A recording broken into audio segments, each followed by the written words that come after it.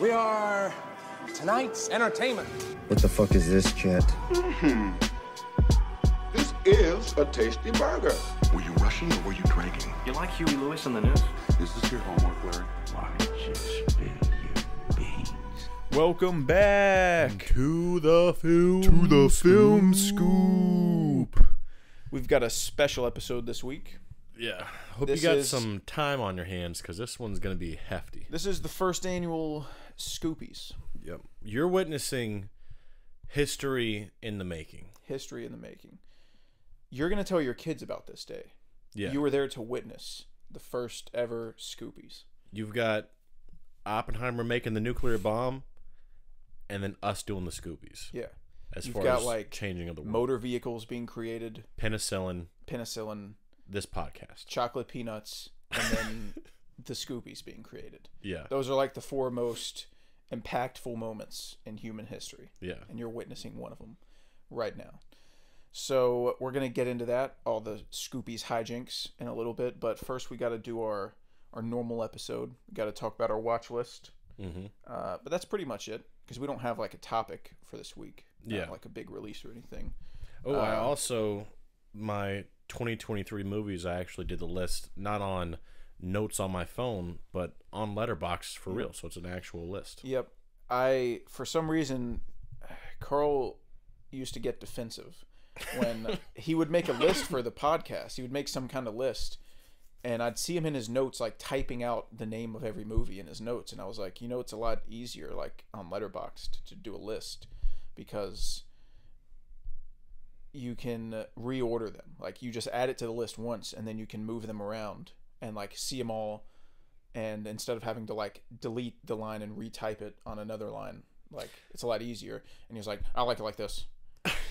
And for some reason he never he thought i was being a dick for like telling him to do it on I Letterboxd still but it's haven't- just faster. I still haven't figured out how to drag them to different locations. It like gives me when I click on a movie, it'll be like position in the list, and then I'll have to punch in like position number 24, and then it'll move it up to 24. i mean i can it's really easy i can show you how to do it well, you also tell me how to do stuff that's like a paid subscription thing. there's no way that that moving stuff in a list I'm not is- saying it is, is, patriot but you'll like you'll be like, yeah, you fucking idiot, just clone the list, and then I'll go over and it'll say clone like i didn't say pro, you're i didn't call you an idiot and then I'll be like, oh, it's a pro thing, and you go, that sucks, and you just keep going. I don't know what's a pro thing. Like I, I just, I just have my shit. I just know what Just- works. I just yeah, know you what I should do this, you moron. I can't do that. Oh, whatever. whatever, you're gay. That's what I get. Um, yeah. So we'll talk about our watch list, and then we'll pretty much get straight into the Scoopies. Um, first up, we've got Four Christmases. It's been two weeks since we recorded. I was gonna say like It's been a long time. It was uh, before Christmas. We're definitely there's a gap here. yeah, uh, it took a while. We took a week off, not off, but we took a week to prepare for the Scoopies. We had some movies we missed that we needed to watch that we thought would be on the list, um, so and we may have been right, and uh, uh, and we just needed some time to like pick our categories, get our nominees together, and you know shit like that. So Yeah, that plus the holidays kind of threw our whole schedule. yeah, and the holidays was super busy, so uh, yeah, it's been it's been a while since we last recorded, but um, Four Christmases, I gave it a three and a half. I still enjoy it a lot. I think it's really funny, and that's all I really want from it. It's a comedy, takes place on Christmas. Got Vince Vaughn in it. He takes the trips. Yeah, that's what else do you? Yeah, What else could you want in the world? I wouldn't say my name used to be asshole, but now it's Bob. I just say my name's My Bob. name's Bob. Yeah, Four Christmases is really funny. Uh, Yeah. Next day, we watched The Night Before. Another classic, dude. Never gets worse. Every time I watch it, it's just as fun. Yeah, It's so fucking funny. I love the characters. Um, Seth Rogen's really his shtick sometimes in other movies can get old. yeah. Not in sure. this movie. No, like this everything one- he does in the night before. Cause I so got funny. the refund. Because I got the refuzz. one joint. um, and they, they keep making these like jokes about how he's Jewish and how like uh how like Jewish people killed Jesus and how he's like we didn't do it and like and then like later in the movie like something happens where he gets framed for like uh killing the messiah like the football messiah he's like Yeah. it's happening again and it's so fucking funny dude Michael you, baby. Fuck you baby cunt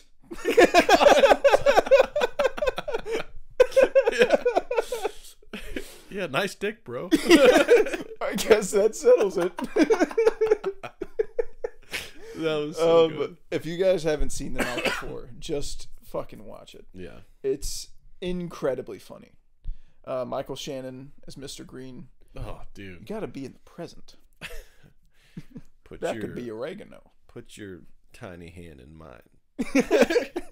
It's a real party. You ever see me as think of me as a father figure?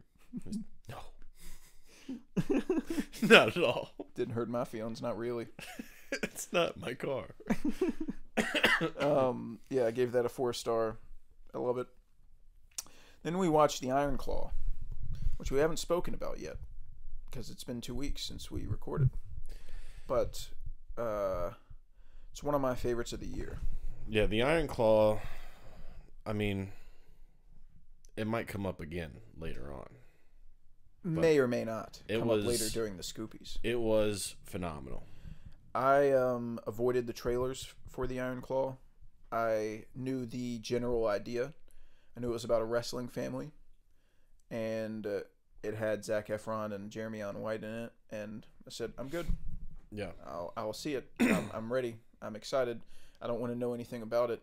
So every time it was painful because every time we'd go see a movie, I'd hear "Don't Fear the Reaper" come on, and like see a a, a quick clip of like Zac Efron running Yeah. and I was like, I I wish I was watching that trailer right now, but I really don't want to know what what happens in it. I don't. I want to go in as blind as possible, and that really paid off for me because I didn't know what to expect. I I generally knew it was going to be sad, Yeah. but that was about it. And like, so the reveals really like got me, and I didn't see them coming, and I didn't research before the. I didn't research the real family or anything, so uh, I think it's one of the best of the year. Some of the best performances. For sure. Um, I mean, Zac Efron, uh, absolutely fucking yoked. Dude. I mean, that's ridiculous. That's fucking ridiculous. That how big he got. you know, people were making fun of him with that haircut for the movie, and like I'm looking at him like I'd, I'd still, I'd fuck him. I'd still fuck him, dude. I'd let him. With that Lord ass. Farquaad hair. Like Yeah. I'd be like, yeah, come on. Yeah. Um.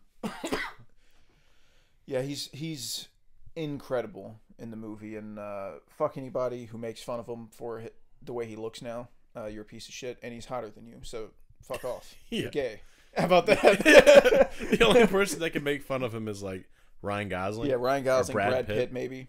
Yeah. So There's like five people on Earth that can like say proudly, "I'm more attractive than Zac Efron." yeah. So we're not any anyone listening to the Film Scoop isn't one of those people.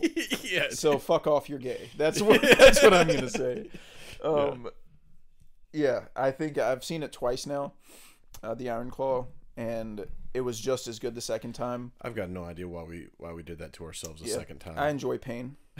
I enjoy inflicting crazy. maximum damage upon myself. Yeah, I watched the trailer of the Iron Claw, and I'm happy to report that the trailer, just the first trailer. I don't know if they did multiple trailers, but it was very good about getting the point across and not revealing much. Like Mm, that's good. you understand that there's a wrestling family, there's kind of some kind of toxic dynamic that goes on with the dad, and tragedy strikes. Yeah. That's all you know. Yeah. the um the writing's great. I it's a very immersive setting. It Mhm. takes place in the 80s in Texas and just from the the um, soundtrack and the accents and everything, the way everyone's dressed, it's just really immersive and it it flies by like the way it's I want to say one of my praises of the movie is the editing, but also like one of the things holding it back from being a five star is also the editing. because I think it's edited in a way where things move really fast. Yeah. So that keeps it very fresh and it keeps you from getting bored and it moves on to things really quick. Um, but that can also like kind of skip over some things that should have gotten more time. yeah. Like the not going to go into spoilers, but like the first incident, family incident. they pre- they move on from that pretty quick Yeah. and like go on to the next thing. And I feel like the an Iron Claw movie that was three hours long would have been a five star and like been much better.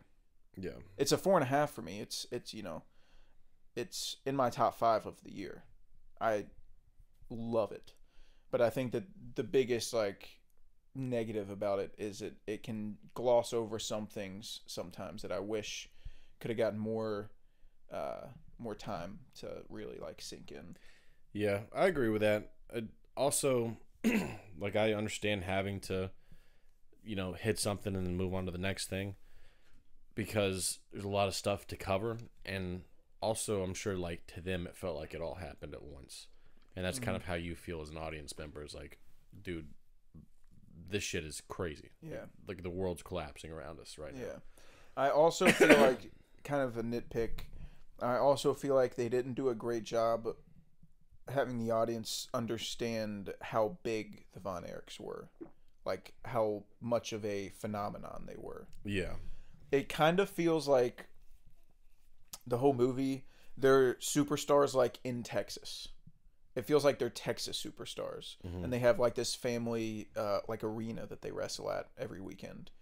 But in reality, they were national, like worldwide superstars in wrestling, Yeah. and like everyone knew them.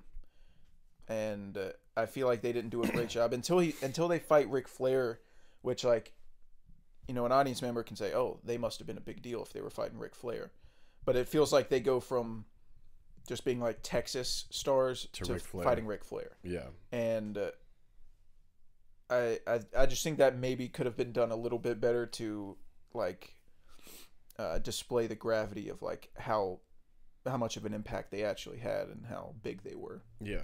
at the time. Um, but yeah, it's one of my favorites of the year. Makes me cry. I love Zac Efron. Yeah. that's He fucking killed it, dude. We'll we'll leave it there. Um, Merry Christmas, Drake and Josh. Need I say more? The double feature of, of Yeah. a lifetime, the perfect crime. Well, when you when you watch a movie that makes you want to jump off a bridge, you got to balance it out with something happy. Yeah. Merry Christmas, Drake and Josh. Uh, I watch it every year. It's we, you know, the scoopers out there, the hardcore scoopers, listen to our Christmas episode and they know how I feel about this movie. It was in my top five. Yeah, Uh, I still have If- it at a four and a half. yeah. If Fleeb isn't in your vocabulary, then get out of here. If you don't like Merry Christmas, Drake and Josh, then you can go fleeb yourself. That's all I've got to say. Um, Fleeb. um like a it's what like honeydew when he was when crazy steve was Yeah, was putting his hand on that bald guy's head yeah, oh my god i want to touch it so soft, i love the way glass sounds when you knock on it dude. What a weird line to Yeah. throw in there. uh it's just really funny i grew up with it it takes me back makes me feel like a kid again and i just think the comedy still really works so you know Hey, Oh, like It there's is what it just little things that like I just appreciate. Like there's in the op- in like the first ten minutes, they're at a Christmas party, and it cuts to Drake talking to Crazy Steve, and the scene starts by Drake going, "I don't know, I don't know," and then Crazy Steve's just going, "Tell me, tell me, tell me, tell me, tell me," and then he's like, "I don't know, Cheddar."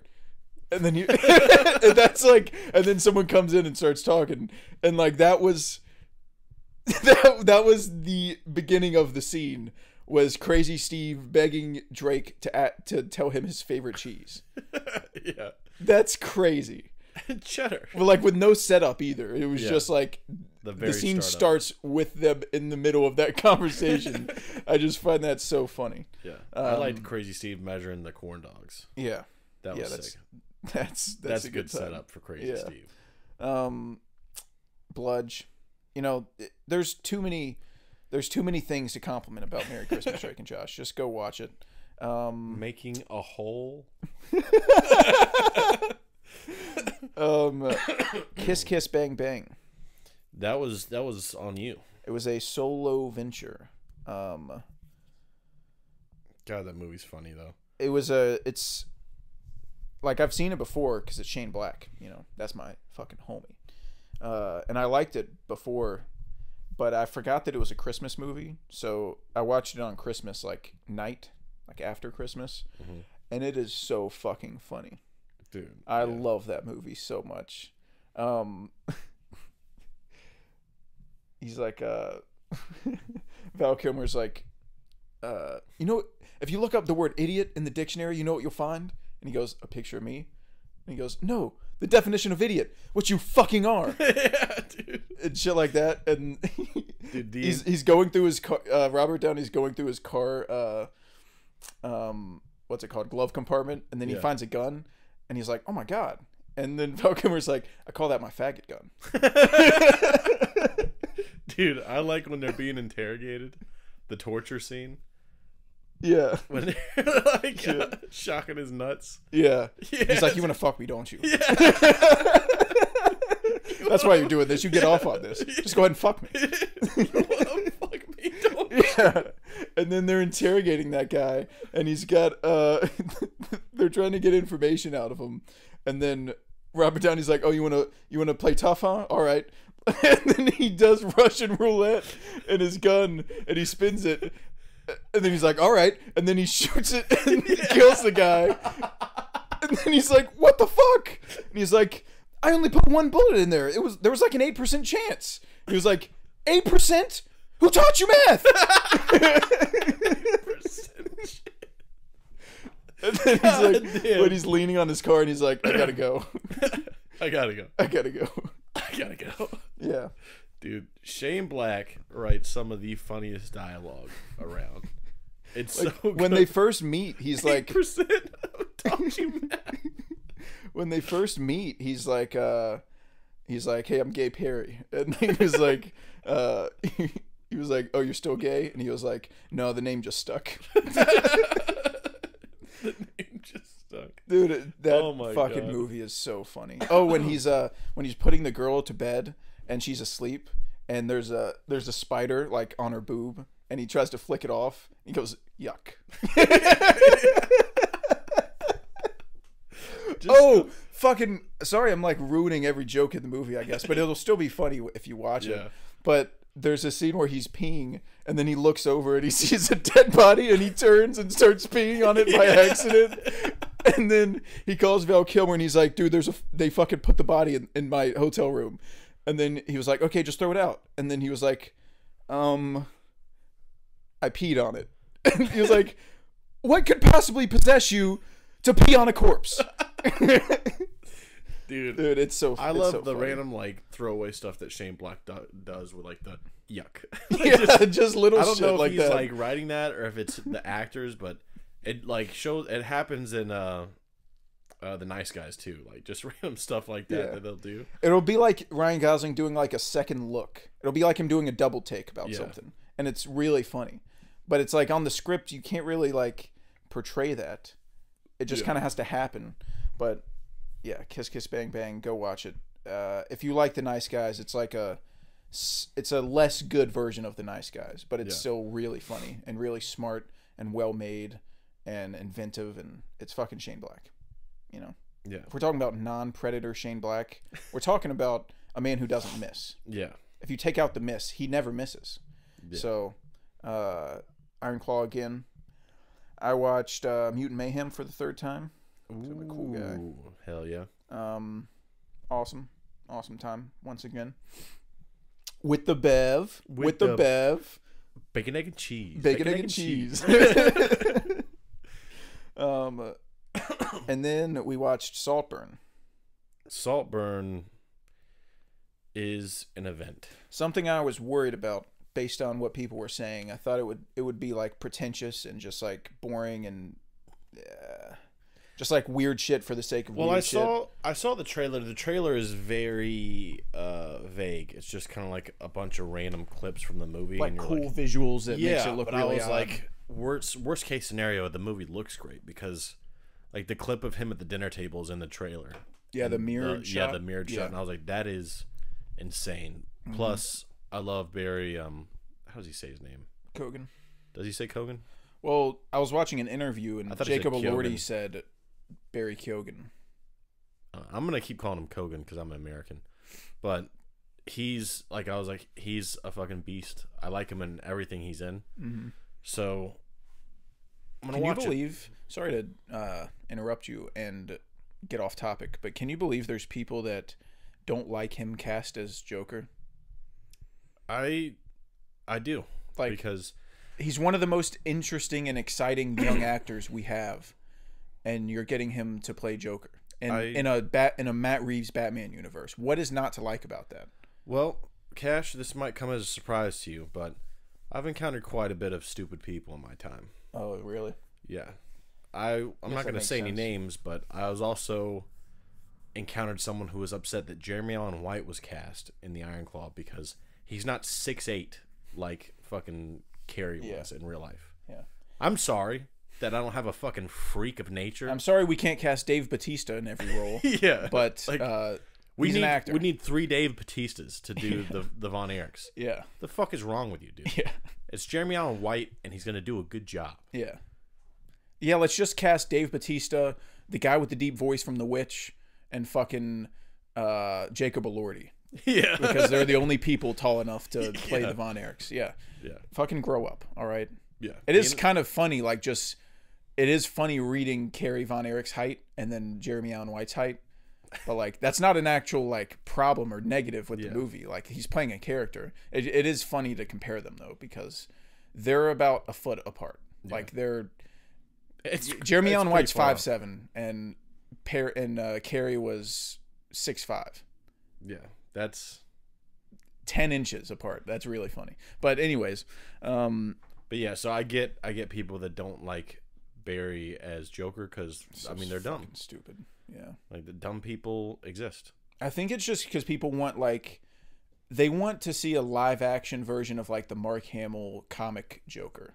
No, dude. And I just don't I just don't really think that'll work very well. well, Like they did that in a, in a Batman short film. I can't remember what it's called, but it's like straight out of the comics Joker and he talks just like him and looks just like him and I just don't think it really works in live action. I think it it's better to kind of do something different with it. I think that like there's probably some nostalgia attached to like how the Joker's been portrayed for a long time. Honestly, I think Jack Nicholson did an excellent job of capturing that in the Tim Burton movies. But like now we've gotten Heath Ledger as Joker, and it's better than what's been what Joker has been portrayed. Mm-hmm. So I want that now. Like I want this new thing. I know it's not how he's been portrayed for a long time, but I like the darker, crazier Joker. So like I don't feel a desire to see the classical, more traditional Joker on screen anymore. I just don't get it because that that deleted scene, like, it felt so much like Batman and Joker. Yeah. If like the dialogue they were saying just feels like Matt Reeves really understands Joker, and I just uh, wish and like that relationship they have. Yeah. like it's it's like they hate each other, but they're also like they kind of have a friendship. Yeah. It's weird. It's a very interesting dynamic, but I, I don't know what's not to like about it because Barry's fucking sick. Oh, it's because Barry didn't offer to give him a reach around. Oh That's why. yeah. And molest kids. Oh, he he didn't send Margot Robbie a dead mouse, so Yeah. he's not a good joker. He didn't make people care He around. didn't, he didn't mail someone a used condom, so he's a bad joker. Oh, FYI, that guy fucking sucks. If if you guys are unaware, most of you probably are, but we're talking about Jared Leto. yeah, Jared he's, a- Leto, he's an insane person.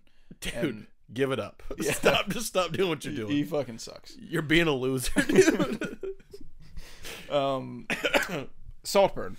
yeah, Saltburn. Yeah. Back to it. Um, Barry, Loveberry. Um, something that you told me that I didn't realize, like it just dawned on me, um, is that his, that's his first lead role, Yeah.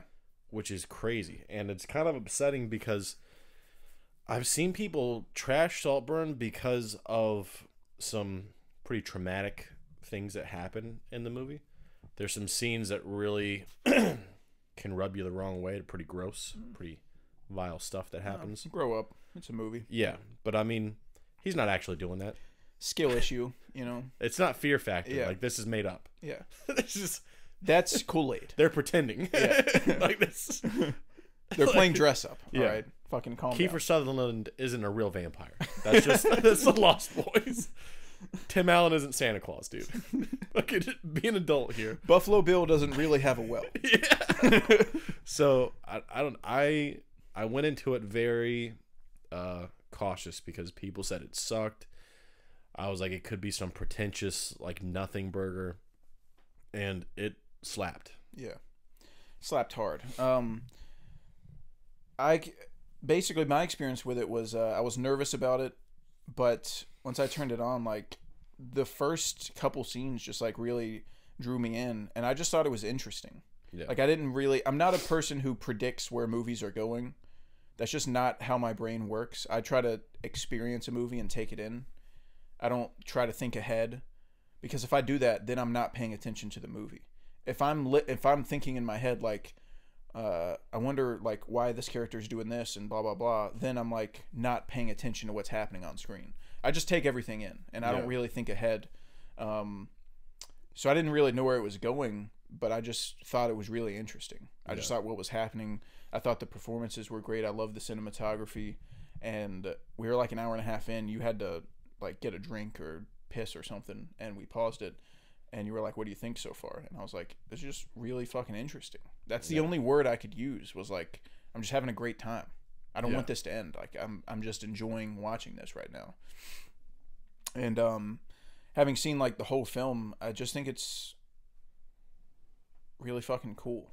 Yeah, I I think it kind of like blends tones really well too. It's dark. There's fucked up shit that happens, but there's also really funny shit that happens. Yeah. And the cinematography is great. It has like I guess I can't I can't really get into the ending. I don't want to spoil it. But I was thinking about it today and the ending actually reminded me of Perfect Blue where it's the ending's Oh. kind of dark but it plays a really upbeat song during it and it Yeah. gives you a really weird feeling yeah. when you're hearing like a happy upbeat song but there's something kind of sinister happening on screen and it's like it's a really interesting thing to do and i just i don't know i don't know if anyone else thought about that but I didn't. I didn't. Like I, I got the. I get the vibe that you're talking about because like, a bad thing happened, but it's played off as like a victory, which is, Yeah. which is weird. yeah But I didn't didn't make the perfect blue connection because that that happens in perfect blue. Yeah. Uh, my biggest problem with Saltburn was that I thought that the twist in the movie was over explained. And I think it would have been more interesting if they would have just left some breadcrumbs for the audience to like decide what they thought happened um, instead of like spoon feeding it to you. Um, but that's about it. Like that's about the only problem I had. Um, I thought it was really fucking cool, really interesting. I like the music. I've been listening to the music like Oh for a couple days now. yeah. I think I put on Murder on the Dance Floor every morning. yeah, Almost. yeah, I'm like I got to start my day out like this. yeah. Uh, the MGMT song, uh, "Time to Pretend." Oh, By the way, Yep. yeah. There you Come on, let's, let's think about the title. saying it without saying it. Yeah, You know. I love when that happens in Yeah. movies, like in The Killer when uh, his girlfriend's in a coma and they play "Girlfriend in a Coma" by the Smiths. Killed it. or he's putting his hand in a glove and they play hand in glove by the Smiths. That's fucking awesome. You know they were like, uh, what song do we play for this? And you search girlfriend in coma songs. and that's the first thing that popped up. Like, yep. Fits. um I didn't Yeah. know the actual title of the Smith songs, but that's Yeah. that's hilarious. That's so funny. Um, yeah, I just think Saltburn's really fun, really interesting. Uh, I regret not seeing it in theaters. I wanted to. It was just kind of like it came out during a busy time. It came out over the holidays, and Yeah. we just didn't get to it. But yeah, I I fucked with it Yeah. for sure. Hell yeah. Uh, what else? What else do we got on here? Oh, one of my favorite jokes in Saltburn was when they're at a dinner table, and then uh, they say, "Oh, are the Henrys coming?" And then Barry goes, "Who's the Henrys?" And then they go, she goes, "Oh, they're dad's friends. They're all named Henry." And like, I just thought that line was so fucking funny. He's like, they're not all named Henry. Most of them are named Henry. because when you hear like the Henrys, you think like that's their last name, and it's like a family. So they're all named Henry, I don't know. I just thought that was so fucking. Funny. I really liked um the very beginning. The ask me a sum. I'm a genius. Ask me a sum. You know what kind of train this is? He's like, it's not like I don't believe you. He goes, then fucking ask me a sum. yeah, that was funny. With uh, eye patch guy from House of the Dragon. Yeah, dude. Shout out to him. Um, yeah, I gave Saltburn a four. Uh, I dust him in a lap. Guy was in it. oh yeah, Archie, something. crushed it. Uh, Rosamund Pike. You know the whole gang. Yep. Pretty awesome. Pretty pretty cool movie. Next day we watched May December, which I wasn't a fan of. Me either. oh shit! yeah, Fucking it up on us. yeah, dude. Hell yeah. Yeah. Uh, that fucking blue ass. I don't, I don't know what to tell you, dude. I, I was waiting. For, I kept waiting for something to happen, and then the movie just fucking ends. So, uh, I I wouldn't describe it as blowing ass. I didn't No, hate I'm, it that I'm, much. I'm overplaying it. Okay. I'm overplaying it for for Um, yokes.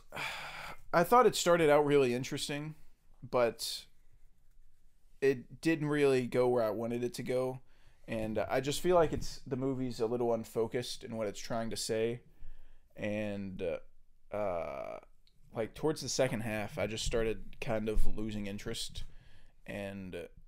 I think the performances are great, especially Charles Melton. I think he's the best out of all of them, and he's like the reason I think the movie's even decent. Yeah, of. I um that character in general. yeah, I I agree 100%. It started out with a really cool idea of what was happening. Stuff that happens in real life, like actors studying for their roles, and they go and talk to the real life person and talk to their family and stuff like that. Yeah. Like, making a movie about that is interesting. And yeah, I that's just- a really cool like fresh thing to do. yeah. and I was like, okay, I you know I'm on board, and then they keep doing that, and they keep doing that. I just thought it was kind of pretentious.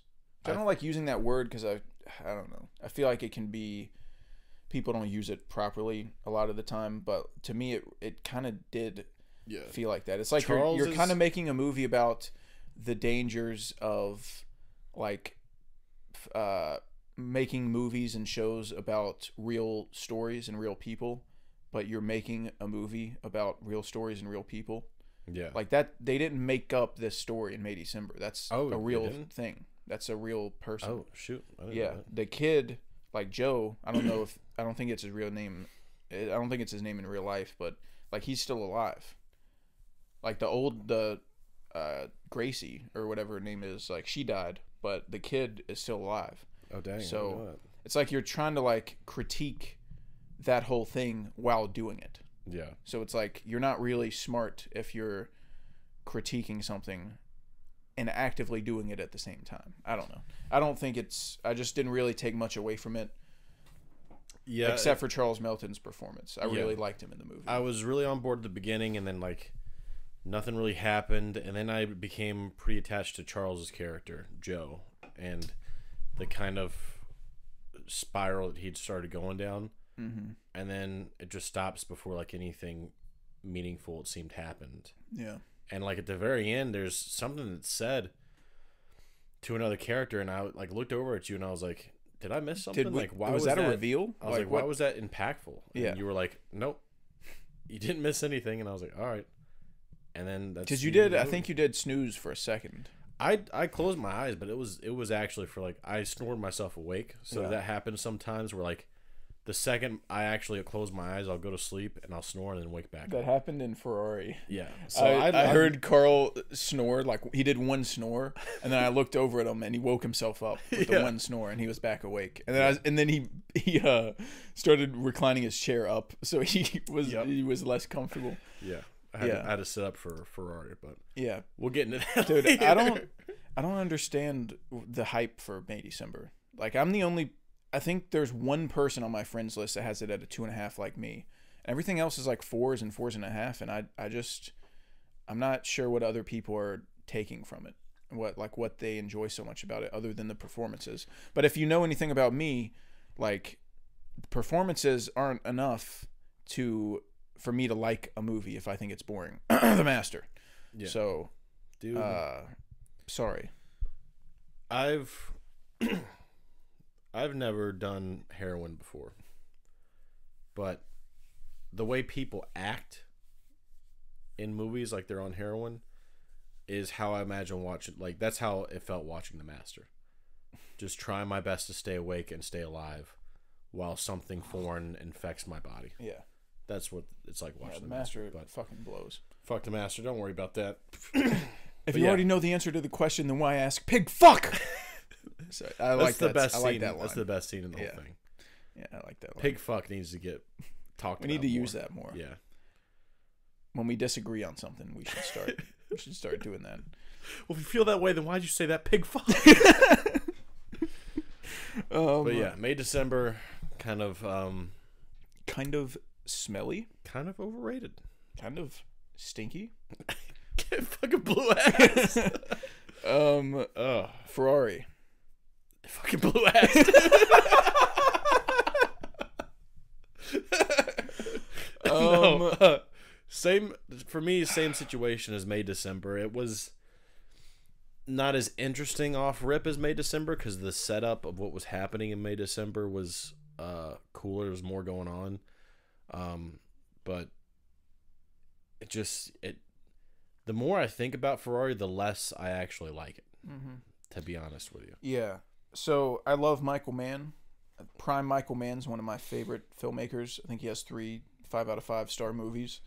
Um, but honestly, like I even ever since this was announced, I wasn't really excited for it. I was gonna watch it because it's Michael Mann, but I can't say I was excited. Like it, that's just not a topic that interests me. I'm not a car guy, and specifically not like a. I don't really want to see like a character study of like a car guy. yeah, Like if it's gonna be a car movie, make it about the cars, like Ford v Ferrari or something. Yeah. Like I can watch that. I can get. I love Ford v Ferrari. That's a great movie. It's also hard when the main character, like, I don't really know a lot about cars. I don't really care much about cars or racing, but if I'm watching a racing movie, I at least understand the competition.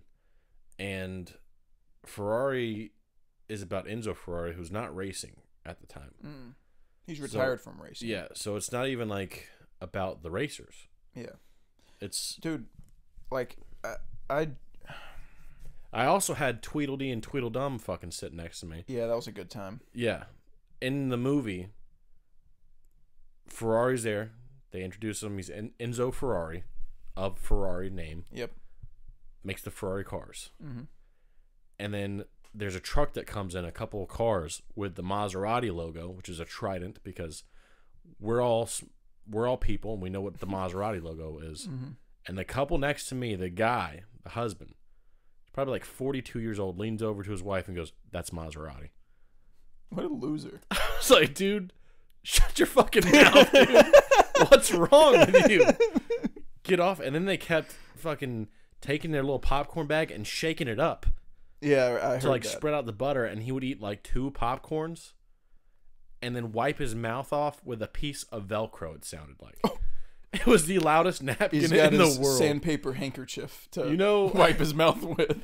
You know in SpongeBob, when he tells him to play the tissue, play a song with a tissue, Yeah. he did it. he fucking did it, dude. Yeah, I was I was hearing those those fellas. Yeah. They, they were quite quite loud. Um I mean, they were more interesting than the movie though. So shout out to them. Yeah. Uh, I genuinely like. Kind of sounds crazy, but I really think like Ferrari, in my experience, like it was a bad movie. I what did not care about anything that was happening, and I wasn't tired. I didn't snooze. Like I was there. I was ready. I love Michael Mann. I love Adam Driver. I didn't care about anything that was happening. Even the races. They didn't like explain what was even happening in the races. Like when you watch um like Top Gun Maverick, like the mission and everything and all the characters are like laid out perfectly to where during the mission you care about what happens. You care about the characters, you know what's going on. You know why it's important that they accomplish their goal. It's like when the racing scenes were happening in Ferrari, I was like I don't know who these people are. I don't know the the stakes if they win or lose. Like I don't really like I don't care what the fuck's happening. And it was really just like a nothing movie to me. I'd I went in and watched it and left and I'm never going to think about it again. Yeah, and what's what's kind of like even more disappointing for me is I actually watched the movie and uh, there was a I guess this is a mild spoiler for Ferrari about a movie about racing cars, but there's a crash that happens. Yeah. and uh, you know the crash I'm talking about. Yeah, the, is it the first one or the the big one at the end? It's the big one at the end. So that had a serious. Im- they don't do that race anymore because of that crash. And there was there was there's trials and stuff that happened in real life, and I was like, why didn't you do that? Yeah. That would have at least been more interesting than just ending it where it ended. I feel like there's got to be 35 different stories about Ferrari that would have been more interesting than what they chose. Yeah, So, but you could have done something like you could have set up drivers, set up Enzo as being you know whatever character you wanted to be. being the he could have been like the Terrence Fletcher of Yeah. Ferrari and So like pushing people way too hard Yeah. but like for results. yeah, the crash happens, and then like, and you kind of get that a little bit with that them sitting at the table and him talking to the guys, but that's the last what quarter of the movie, Yeah. and it's like what the fuck, dude. Then the movie just like ended and I was like, "Oh, I guess it's over." It says Yeah. directed by Michael Mann. Like I, I didn't what was this movie even about? Like I feel like someone asked me like, "Hey, what happens in Ferrari?" Fucking I don't know. I'm like, dude, uh, Adam Driver walks around Italy. that's what happens, dude. Yeah. That's the some summary car- of the so movie. They drive some cars around. Fucking they can't understand anyone cuz they're all doing Italian accents. Yeah. I don't know. Popetti. That's all That I got. great. Thank you. um yeah didn't like ferrari uh and then last night for new year's eve while everyone else was out partying getting plastered Mm-hmm. Mm-hmm. at bars with their friends i was by my lonesome watching john wick 4 What? having a, a blast Yep. I put it on at like 9:30, 10 o'clock, assuming I would get tired and like turn it off at some point, not finish it. Didn't happen. Did not happen. I put it into my PS5 so I could put my headset on and like listen to it since it was late at night so I don't have to play it out loud and I can also get it really loud in my headphones. Mhm. That movie is fucking awesome. Yeah. I stand by it being the best action movie ever made. It's um it's almost like I had this feeling while I was watching the movie that I don't really know how to articulate, but Chad Stahelski doesn't give a fuck what anyone thinks. And I feel like a lot of directors they try to do stuff differently just for the sake of doing it differently so they're not like uh, giving the audience what the audience wants. A lot of directors don't want to give the audience what they want, and they want to like kind of give it to them, but in like a different way. It's like when I'm watching John Wick Four, in my head I'm like, oh, it'd be cool if they did a shot like this, and then he does it. yeah.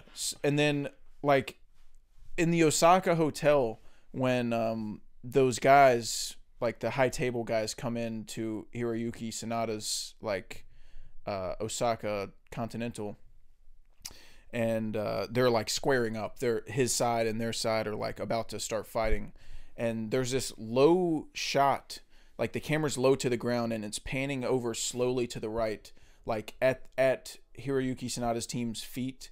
And you see like their blades coming down and like preparing for battle, and you hear like the fucking score ramping up, and shit's about to go down, and you everyone's like, dude, it's it's like fan fiction almost. It's like it's too obvious for other people to do. It's like, oh, that's cheesy. That's like, uh, oh, that's like melodramatic.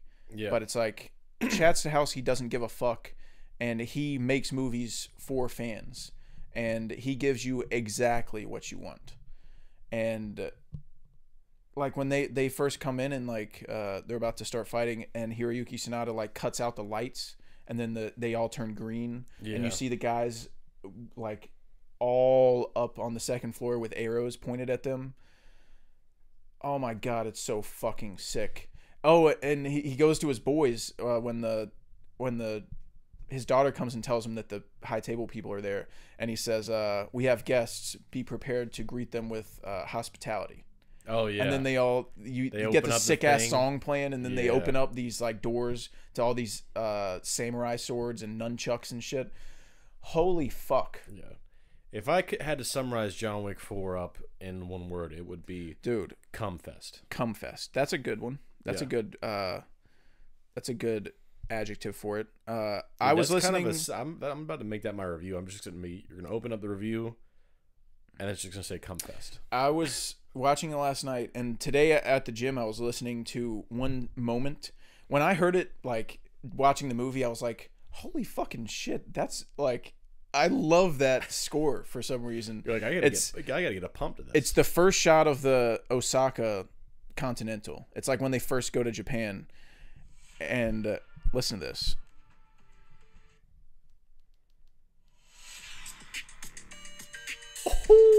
Dude. I do remember that. Yeah. It's That's got like, a, like, it's like a shot of a dog like Yeah. going through the like cars outside going into the It's hotel. nobody's dog. Yeah. It's so fucking cool. That dude. shit slaps. dude. Holy dick. Yeah. Like I'm watching this movie and I'm like, this doesn't make any sense. Like the way it looks, everything. It looks better than normal movies, Yeah. let alone action movies. This this is this transcends action. Yeah. This looks better than movies in general. Dude, Keanu on the roof of the Osaka hotel. Yeah. With the red Dude, light. like, why is there a fucking big red light up there? God, Who fucking cares? It looks sick. That's all that matters. Like, that's what I'm saying. Chad Stahelski is like so unpretentious about what he makes. Yeah. He just does shit that he thinks is cool and that he thinks other people will think is cool. And like I was listening to him talk today, um, and he was just saying he loves like he has a reflection fetish and like a light fetish. And in all of his movies, he just likes as many cool lighting scenarios and cool reflections and like uh, as possible. And some people, you know, may think that that's inauthentic and like, oh, it, it should there should be a reason that there's stuff there. Like it should be natural. But it's like he thinks it's cool, so he does it. Yeah. And I think it's cool. So I just had like scene after scene after scene after scene in John Wick 4. I'm like, movies should not look this good yeah. it's ridiculous how insane it is. Like set piece after set piece, the Osaka hotel, uh, the green lights, and then he goes into the the separate room where there's these, these like big glass boxes for some reason. I don't know why they're there. I don't know what they are. Who fucking cares? It's sick. That's where the nunchuck scene happens. Hey, and then, Why are these nunchucks in these this big glass box? And he's just, eh. dude? Yeah, and he starts like, I mean, obviously the action is the best of the franchise of all time. The the action choreography is absolutely ridiculous. Um, but that goes without saying. It's like for me, what makes John Wick Four so insane is just the pacing. The writing is really good, I think too, and the characters, like the side characters they introduced, they made an epic. Like they made a. It feels like a superhero movie. Yeah. Like you have John Wick, but then you have Hiroyuki Sanada's daughter Akira, and you have Tracker, and uh, Bill. Skarsgård, and you have Caine, and it's like, and you have these layered in backstories with all the characters. They're not like meeting for the first time. Yeah. Like Hiroyuki Sanada and uh, Caine are all, and John Wick are all like go back, and they're all friends. Yeah. And they they see each other, and they're like, "Is your daughter still good?" And he's like, "Yeah, she's well." And it's like little things like that that just expand the world building and god it's so fucking good and i don't want to spoil john wick 4 if anyone hasn't seen it but what happens at the end is teased throughout the entire movie. Yeah. and uh, i just think it's a perfect ending and i don't want them to make a john wick 5 i know that he's talked about doing it like a little down the road. I hope that never happens. I don't think you can possibly end the john wick franchise better than what they did. If they want to do spin-offs i know they're doing ballerina and so i think they may want to make like an akira movie but i don't want any more john wicks Yeah. do I mean, do all the spin-offs you want if they do five, it wouldn't be too bad if they did a prequel of his like um impossible task that the Russian mob like assigned him, but because then it doesn't really interfere with how it ended. Yeah, but I just It's still revisiting that whole thing. yeah. But at least with a prequel, it doesn't like it doesn't disturb Yeah. what's happened. Yeah. And there's some fucking lines in John Wick 4 that Oh, dude, I should have I should have taken notes on them, but maybe not. yeah. Dude, that's a great Keanu. And like Hiroyuki Sanada says uh friendship means little when it's convenient. yeah, Um uh trying to think of more. I don't want to hold it up too long, but it's fucking amazing. yeah. There's the the very end when he's like, uh, those who push death away find it, or those who cling to death live, and those, Those who cling to life die. Yeah. Yeah, That's fucking awesome. that's fire. that shit like that happens throughout the entire movie. Yeah. And just like Clancy Brown saying a man's ambition shouldn't exceed his worth. Yeah. The fuck? All right, fucking Marcus Aurelius. Like It's fucking this is cold supposed as- to be an action movie. Yeah. It's cold as shit though, dude. it's fucking cold. Yeah, dude, it's fucking Clancy Brown, what an awesome. imposing looking Yeah. guy, dude. He's got the fucked up eye in that too, Yeah. missing the finger. cool ass Mr. Krabs voice. Got the fedora on. Yeah. God bless. His name is uh it's fucking sick too. Uh what is it? The I'll look it up. I don't know if you remember this too. name. Um, this is kind of a a spoiler for, for John Wick Four a little bit, but he goes into the uh, Continental and he's like, "You have one hour," and he pulls out this enormous ancient sand Yeah. gla- uh, the fucking hourglass, Yeah. and puts it on his table and leaves. I'm like, "You carried that in Yeah. just to do that?" Yeah. You brought a suitcase with that in it. just hour. for this moment. You could have just told him he had an hour. It was huge. Yeah.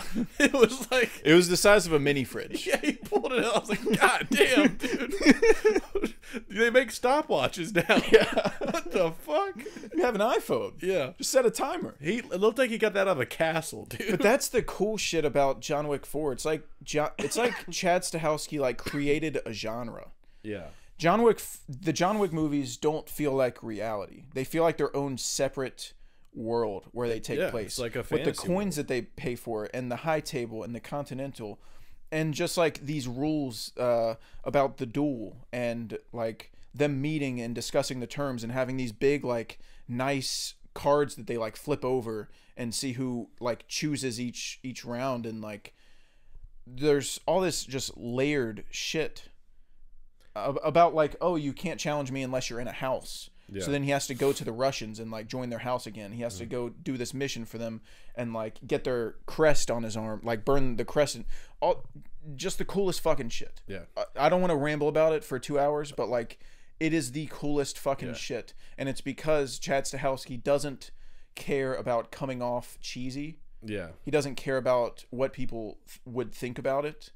And uh, he just does shit that he thinks is cool and it ends up being fucking cool Yeah. what do you know that's crazy right Wolves. woos. that was that was the mark. me trying to be the Marquis. That's crazy that you remember it like that because I just watched it last night and he says it exactly like that. yeah, dude. It's so if funny. you haven't seen it, I fucking killed it just now, dude. Yeah. Uh, the opening scene, like uh, Laurence Fishburne's walking down the alley, like reading off Dante's Inferno. yeah, Just fucking sick ass shit. yeah. Anyways, I could I could talk about John Wick 4 forever. We have an episode on it if y'all want to check that out. But we got some uh some business to tend to and then I watched two movies last night. I watched John Wick 4 and then I watched The Holdovers cuz I'm fucking sick. Oh my god, Um, dude! I gotta make Logan watch that. Yeah. Another four and a half, uh still just as good. The only thing I didn't like was that Paul Hunham uh talks during a movie. Oh yeah, I when they're watching the movie yeah. and he's like not only is this a good film but it's also quite uh it's quite historically accurate to the time of the romans oh yeah, he's like, "Fuck off." yeah and the guy was like shh and he was like fuck off yeah, like, all right paul i'm i'm on your side 99% of the time Yeah, but you're in the wrong here pal you're All right? the you're the asshole here all right you should not be talking during the film that guy was doing the correct thing Yeah, he was doing his job. telling you to shut up yeah, and you mistreated him yep. So me and Paul, we're gonna have to talk about that. Might have to slap him around a little bit. Yeah, give him the old one too. I watched a movie last night. Oh yeah. Yep. I I lost something once. I wa- I watched Psycho Goreman. Mmm, Yep. yummy. It's been on my watch list for a while. It I don't even remember how I saw the trailer for it, but I was like, that looks like a lot of fun. Oh, And- why'd you watch that without me? I would have loved to see that. Lo and behold, motherfucker, it was a lot of fun. Oh really? Yeah, and it was actually pretty funny. No. Like uh obviously not on the same level, but there's some sequences that it's like I could see that being in a James Gunn movie. Mm. Yeah, like there's some. it's like these kids uh, awake a demon and have control over him, but he's like from a he's like an alien from another planet, and these guys are watching him in a spaceship, and they're like, "Oh my god, what do we do now?" And then some guy goes, "Stop hogging all the globals goes, "Those are for everyone." And he grabs them and starts eating them. like in the middle of everything. It's like in Guardians Three when uh they're talking about Gamora and Drax is like, "She's dead to us." Hey, you want a Zarg nut? Yeah. Like, Stop hogging all the globals. Yeah, there's some funny shit in that, and it's just it's just a fun it's a fun Okay. like B-rate sci-fi horror movie, and he's running around like blowing up people's heads, and like the ending's really funny. He's like, "You taught me how to love." And now I'm gonna use that power to destroy the universe, and then just leaves. Okay, yeah, maybe I'll check sick. it out. Then. Yeah, yeah. Psycho Goreman, Cool. PG for short. Curl your toes. All right. Uh, that's the end of the watch list. And now we're going to get into the Scoopies. The Scoopies are ceremony, if you will.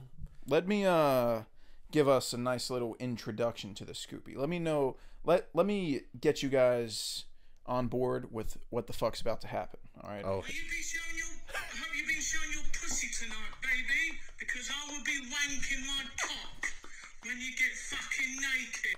That's what the fuck we're doing here tonight, all right?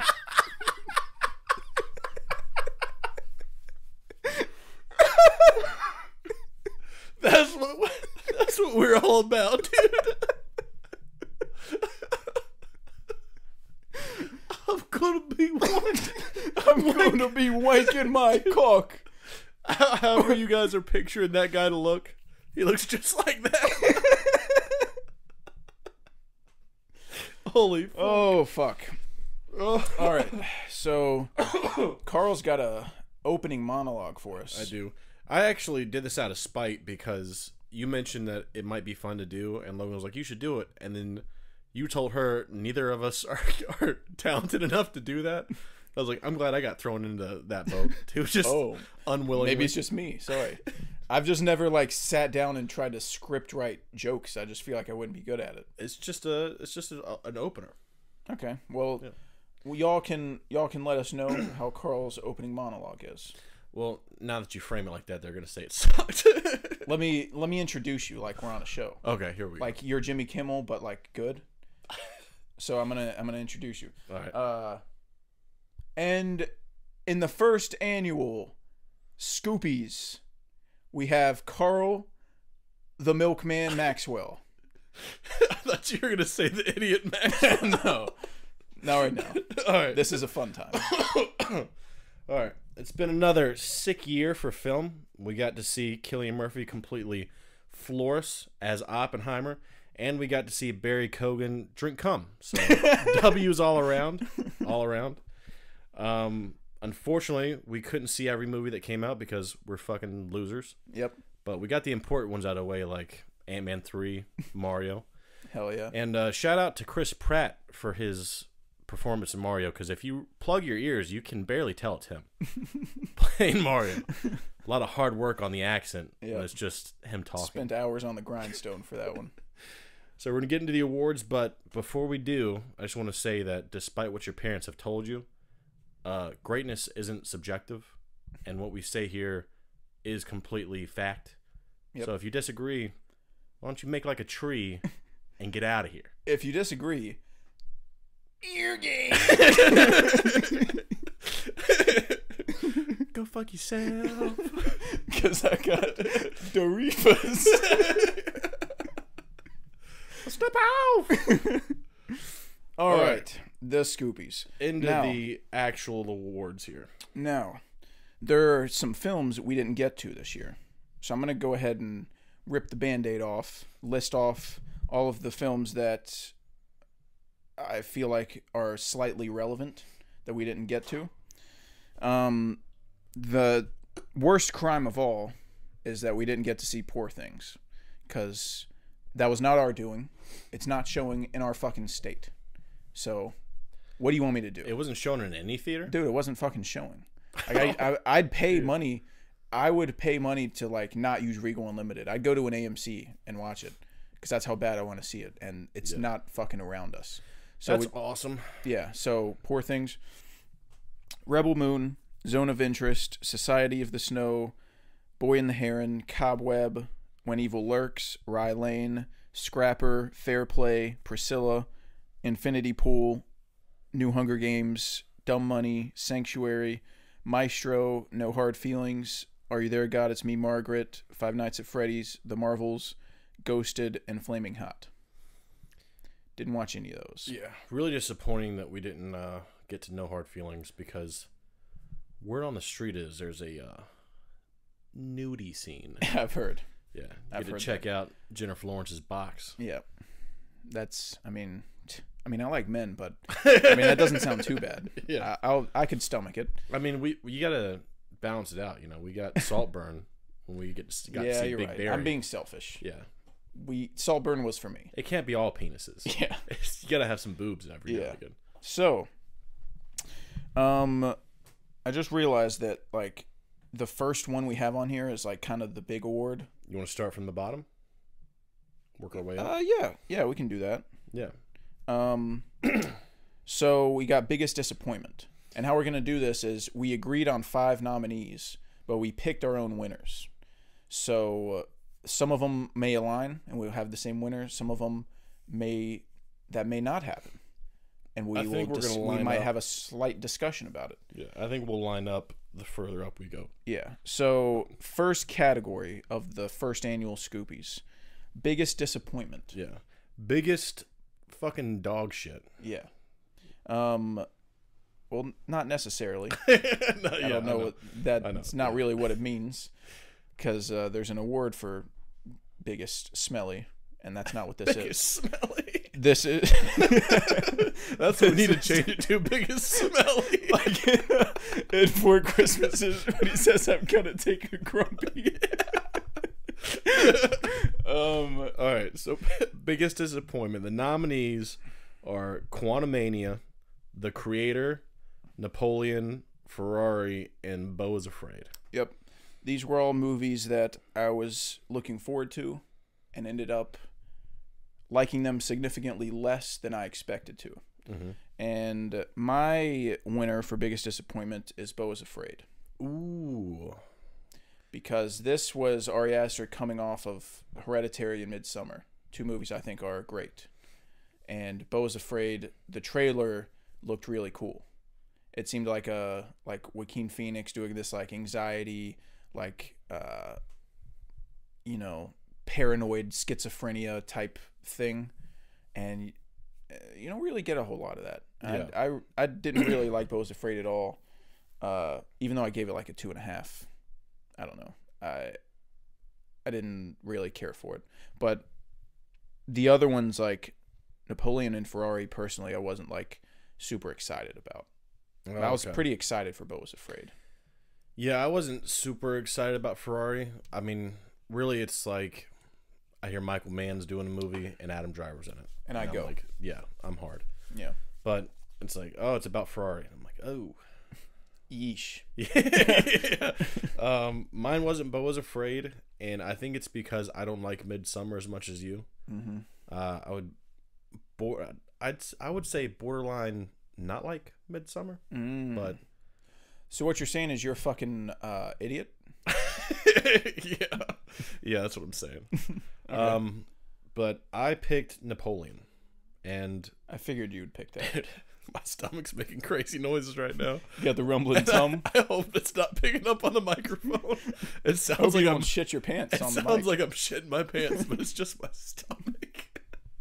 but my Does he picks- calm down over there? dude. I don't know what's happening. But my pick's Napoleon because I was like, this is Ridley Scott doing a period piece on a war general. We'll get to see some big wars, some fights, learn more about Napoleon, and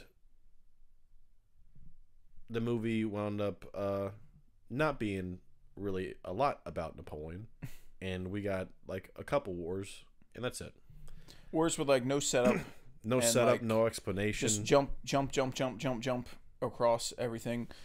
I know Ridley Scott said he has a four-hour cut, which I'm sure would be more cohesive, and there's added stuff that will make things make more sense. But I don't want to see it yeah, because I'm going to be bored. I, if I was bored during the two and a half hour cut, I'm going to be bored even more so during the four hour cut. Yeah. So I'm not going to watch that. instead of uh, Napoleon, you know, being a huge tyrant and people kind of like worshiping him, or his troops kind of like worshiping him, we got him fighting a mummy and then going nom nom nom nom nom nom nom nom nom. Yep. So Destiny brought me to this lamb chop. yeah.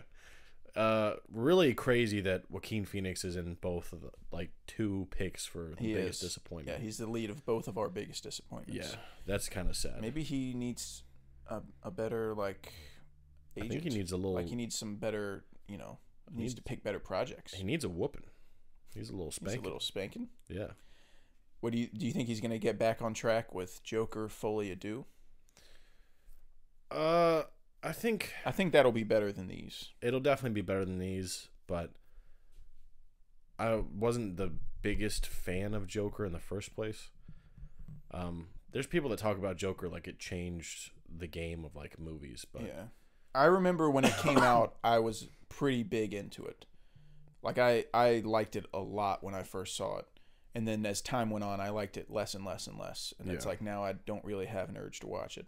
yeah, So, I mean, it's just Taxi Driver. yeah, If I want that kind of movie, I'll just watch Taxi Driver. exactly. So, if Taxi Driver didn't exist, Joker would probably be a masterpiece. Oh yeah, But guess what exists? Fucking Taxi Driver. yeah, So, here we are. yeah.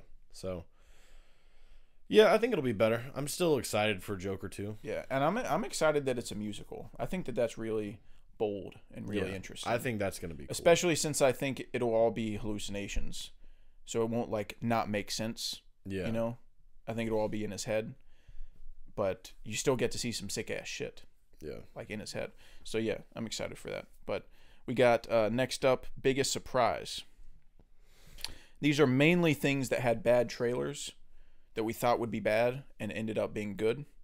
Uh, so we've got the nominees are Dungeons and Dragons, The Holdovers. That one's not a bad trailer thing. That one just kind of came out of nowhere and we didn't really know what it was. Yeah. Um, Gran Turismo, Transformers: Rise of the Beasts, and Godzilla minus one. And my winner is Dungeons and Dragons. Ooh, okay. That's partly it's not the best movie on the list, but it's the best movie in comparison to its trailer. Yeah, It had a dog shit trailer. People thought this was going to be horrible yeah, based on the trailer. and it was some of my favorite like comedy of the year. yeah. I thought it was really funny. I love Chris uh, Chris Pine, uh, Jonathan. Just fucking.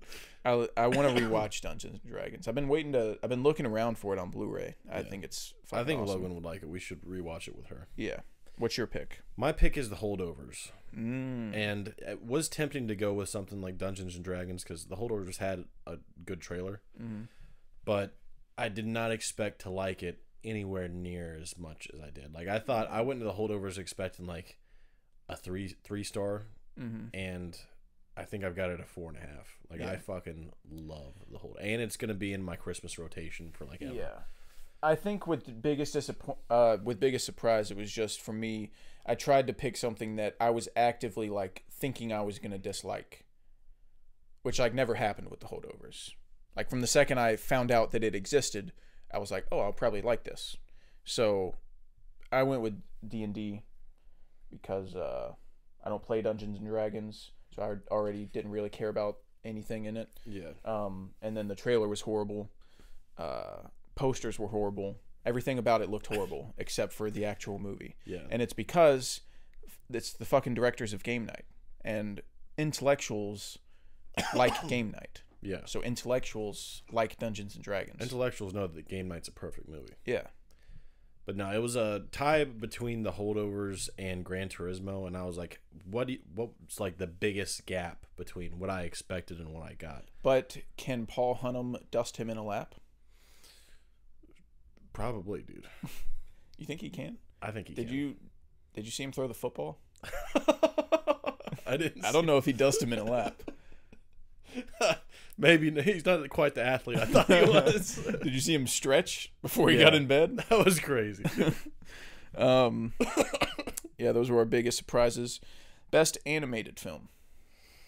Now we technically saw four animated films this year. Um, but There's three nominations. there's three nominations, and that's because I refuse to give Mario a positive um, nomination. Yeah. So we have three nominations for uh, animated film, best animated film, which is Across the Spider Verse, Suzume, and Teenage Mutant Ninja Turtles: Mutant Mayhem. Mm-hmm. And my winner is actually Across the Spider Verse. This one was hard It was for close. me, but I went with Across the Spider Verse as well. Okay. and I think that TMNT tells a more complete story, but I think the stakes of what's going on feels a lot more personal, and then there's a lot more emotion in Across the Spider Verse, and The I think for- animation's better. The score's better. yeah, for It's, that uh, it's just like. I think I think it just barely nudged out TMNT. Yeah, I I really like TMNT, but on my third watch, like it, I don't know. It, I kind of realized that I don't really like the villains in the movie. I really like the movie for the turtles and the animation, Yeah, that's and I think it's funny. Yeah, But the villains, Superfly and like all the mutants and uh, Maya Rudolph's character, it's just like I don't know. Uh, on third watch, it kind of hit me like, okay, this is kind of. I'm kind of only watching this movie for the turtles. That versus across the Spider Verse is like everything's really well balanced. You Yeah. love Miles, but you also really like Miguel and like uh, Hobie and like everyone in the movie. There's no bad character in Across the Spider Verse, so Yeah. I'd I'd go with that. That actually hit me in the, the second watch that we did Mm. for TMNT. It's just I don't know some of the stuff with the villains. I was like, eh, that's not Yeah, quite like, as cool as I remember it being. the like first when time. they uh when they're supposed to be like taking down Superfly, but then they end up bo- going bowling with him. yeah It's like I guess it's a little funny that like because it's their first like mission and they're kind of bad at it and they're afraid to like confront him, so they just go along with it and start bowling with him.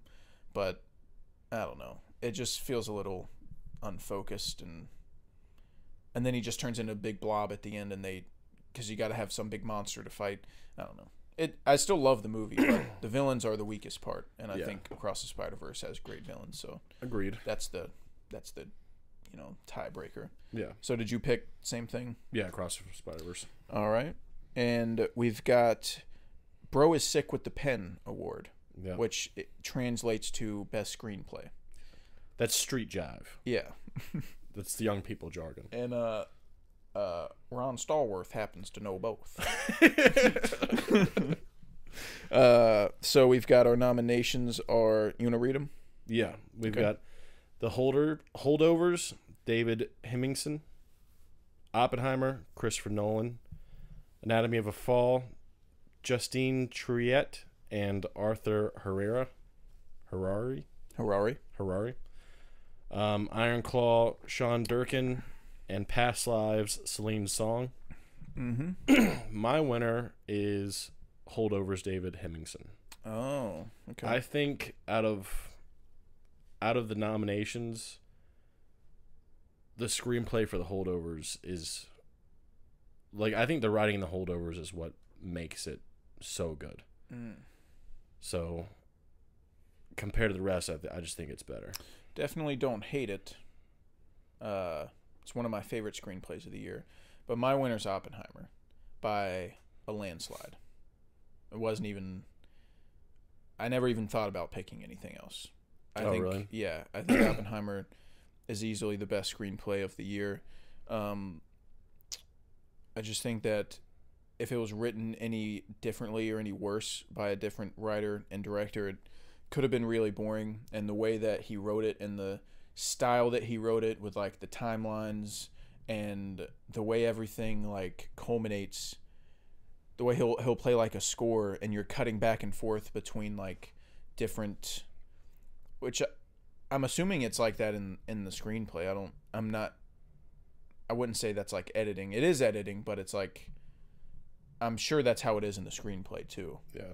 Um That's something I still kind of struggle with is kind of isolating to what extent is it the screenplay or is it other elements that have like come to make yeah, cuz sometimes happen. decisions are made after the fact. yeah sometimes you shoot a scene like in the script it's all linear but then when you're in the editing room you're like oh this would be better if i like intercut them together yeah so it's hard to say it's a screenplay but even without that just like the dialogue the pacing everything of the the screenplay i mean there's so many iconic lines already it came out this year and you're the one that gave them the power to destroy themselves yeah and just uh I believe I- we did yeah, I believe we did. And um, uh, zero would be nice. You know, just shit like that. Like it's just easily the best screenplay of the year to me. And you know, I, I think Oppenheimer, Call Me Crazy, may get a, a couple more awards tonight because Oh. I just think it's fucking hard dick. if I have anything to say about it Yeah. So that's my uh, bro is sick with the pen is Christopher Nolan. heck yeah uh, supporting king penis actress. you mean read Uh, yeah, I mean you can, yeah. I was just gonna clarify, like oh we here at the Scoop use king penis as like just top dog, yeah so not to be like uh, derogatory since it's like an actress. I, I just wanted to clarify. We're not. It doesn't mean anything. Like you know, just king penis is like a good thing here. We say that as a compliment. So king penis supporting actress. That's Yeah. that's who we're talking about here. yeah yeah king penis is just another word for fucking Awesome. cool guy Yeah. cool person Yeah. everything I say is just more derogatory stuff. I went straight to cool guy. Yeah. yeah. All right, so supporting actress we have uh, Da'Vine Joy Randolph, Emily Blunt, Penelope Cruz, Vanessa Kirby, and Manami Manami Hamabe. Mm-hmm. She's from Godzilla minus one. Yep. Yep. Who's your winner? My winner, and this was tough, but I went with Emily Blunt. Oh, Oppenheimer. okay. nice. Yep. I went with her because her scenes there's so much emotion in her scenes. I mean, really all these people did fantastic. Um but she has a lot of range. Like Penelope Cruz and Ferrari, she's like mainly mad the whole time. But Emily Blunt has times where she's kind and gentle and then she'll have times where she's horribly like depressed and in a bad state. Mm-hmm. And then she'll be like this tough lady who's like you're trying to get one over on me but fuck you. Yeah. so i think her range in oppenheimer with the little that she was on screen was pretty fucking awesome. I love the scene at the end when Einstein's talking about they'll feed you potato salad, but it won't be for for you. It'll be for them. And then she like Benny Safdie puts his hand out to shake her hand, and she like doesn't do it. yeah And then the score like ramps up. Oh, that's fucking awesome. yeah Um, I picked Da'Vine Joy Randolph as my winner. i thought you might Yeah. She's my favorite supporting actress of the year. I just she just has a real genuine feel in her performance. She feels like a real person. she carries a lot of charm Never yeah, a lot of charm. She never feels like she's acting. yeah Just feels very natural and uh thought she was fucking sick. yeah So, King Penis. that's what i'm talking about Yep. crowned Um king penis yep. Uh supporting King Penis actor. you read these All right. So we've got RDJ, Oppenheimer, Dominic Sessa, Holdovers, Charles Melton, May December, Colts McCawney, I believe is how you pronounce it, from Iron Claw. He plays Fritz. Um, and Ryan Gosling for Barbie. And uh, this one was kind of tough. this one was tough for me too Uh, but I picked Ryan Gosling. Fuck you, fuck you, fuck you, fuck you, fuck you. I don't care. I don't care. Dude. I don't care. Fuck you. I was I picked Ryan Gosling as well, and I was like, at first instinct, I was gonna do Dominic Sessa because he's just some kid. Yeah. 17 year old high schooler. Yeah, and they got him, and he crushed it. Yeah. Like I can't explain how much he crushed it, but Ryan, and this could be me being sexist, but Ryan Gosling stole the fucking show. I think everyone Barbie. admits that. Like I love every sequence that he's in. I care more about what's going on with Ryan Gosling as a supporting actor than I do the main story of. I need a Ken cut of Barbie. Yeah. Like a 25 minute YouTube video of just Ken Yeah. scenes. He is I'd have a great time. electric. Yeah. Tech I I'm not complaining at all if anyone says Charles Melton was the best performance of the year. I almost picked him. Yeah. I think he's fucking amazing. But Ryan Gosling's my boy. He's my favorite actor. And he was my favorite performance. I, I thought that he just had so much energy and charm as Ken and every he just he's so funny. He's also performing. He's singing two songs. Yeah. Like he's just fucking performing yeah. at a high level and it's already like iconic. His performance as Ken is already pretty fucking iconic. yeah. And uh, you know, fuck you, fuck you, fuck you, fuck you. I don't care. I don't care. Fucking hang me. I don't I don't care. He's Ryan my boy. Gosling. It's rare you're gonna see Ryan Gosling in a category that he doesn't win on this show. Yeah. he's gonna win most of the Yeah, time. on the scoopies, on the on the old scoop, we what can I say? We like we like Ryan around here. Yeah. He's our silly man. Um, what do we got up next? We have King Penis actress, lead right. actress. You want to read those out? Yes, we have. Oh shit! I just put Gladstone. what, was, what was her first name again? Lily. Lily Gladstone, uh, Greta Lee, Sophie Wilde, Sandra Huller, and Julianne Moore. And another like, I can't express like this was a really good year for movies and really good for performances. Um, but I actually went with Sophie Wilde on this. Ooh, okay. Um, I thought her and Talk to Me, she's the lead actress in Talk to Me. She had to express like so much like height to her emotions. Like there's moments where she's supposed to sound like she's drowning. She's being possessed by different people. She's manic and in a state of insane like fear, Mm-hmm. and I buy everything that she's doing. And we watched the movie through her, Yeah, so the whole movie hinges on her. yeah. I think that she crushed it. And I think that she had to convey so much fear and emotion, and she did it. She nailed it. Mm-hmm. And she was also sweet in the beginning too. Like she was, Yeah, like really likable. Yeah, she's very charming, really sweet in the beginning, and then you see her go down this dark spiral. Yeah. By the way, uh, I didn't include him on. I forgot about Ryan Gosling at first. Like it was just too obvious. I forgot to put him in my nominations. But before I put Ryan Gosling in, I had Joe Bird from Talk to Me, who is the little brother, Oh yeah. and I just wanted to shout him out because I thought he was really good. Oh heck Talk to yeah, Me. dude. Heck yeah. Um, but yeah, my King Penis actress is Sandra Huller. However you pronounce it, I'm not sure. I think she's German. I think it's Hewler. it's probably Hewler. Yeah. Yeah. But Anatomy of a Fall. I mean, the performances in Anatomy of a Fall are. um Oh, also shout out to the kid in Anatomy of a Fall. He was oh really good. Yeah. Forgot to include him on the noms, but uh, the performances just feel like you're watching a documentary. It's It so- never so feels like acting Yeah. and specifically Sandra Hewler, she was I mean she's in like almost every scene. She she is the whole movie and I just thought she was the best. Uh, I don't know. It's just felt like such a natural real performance. So, Heck yeah. I respect it. Yeah. Respect it. Yep, uh, Roni and uh now we've got King Penis actor. Yep. Top lead actor. Yeah. So uh we have six noms in this category because there was just some people I didn't want to leave out.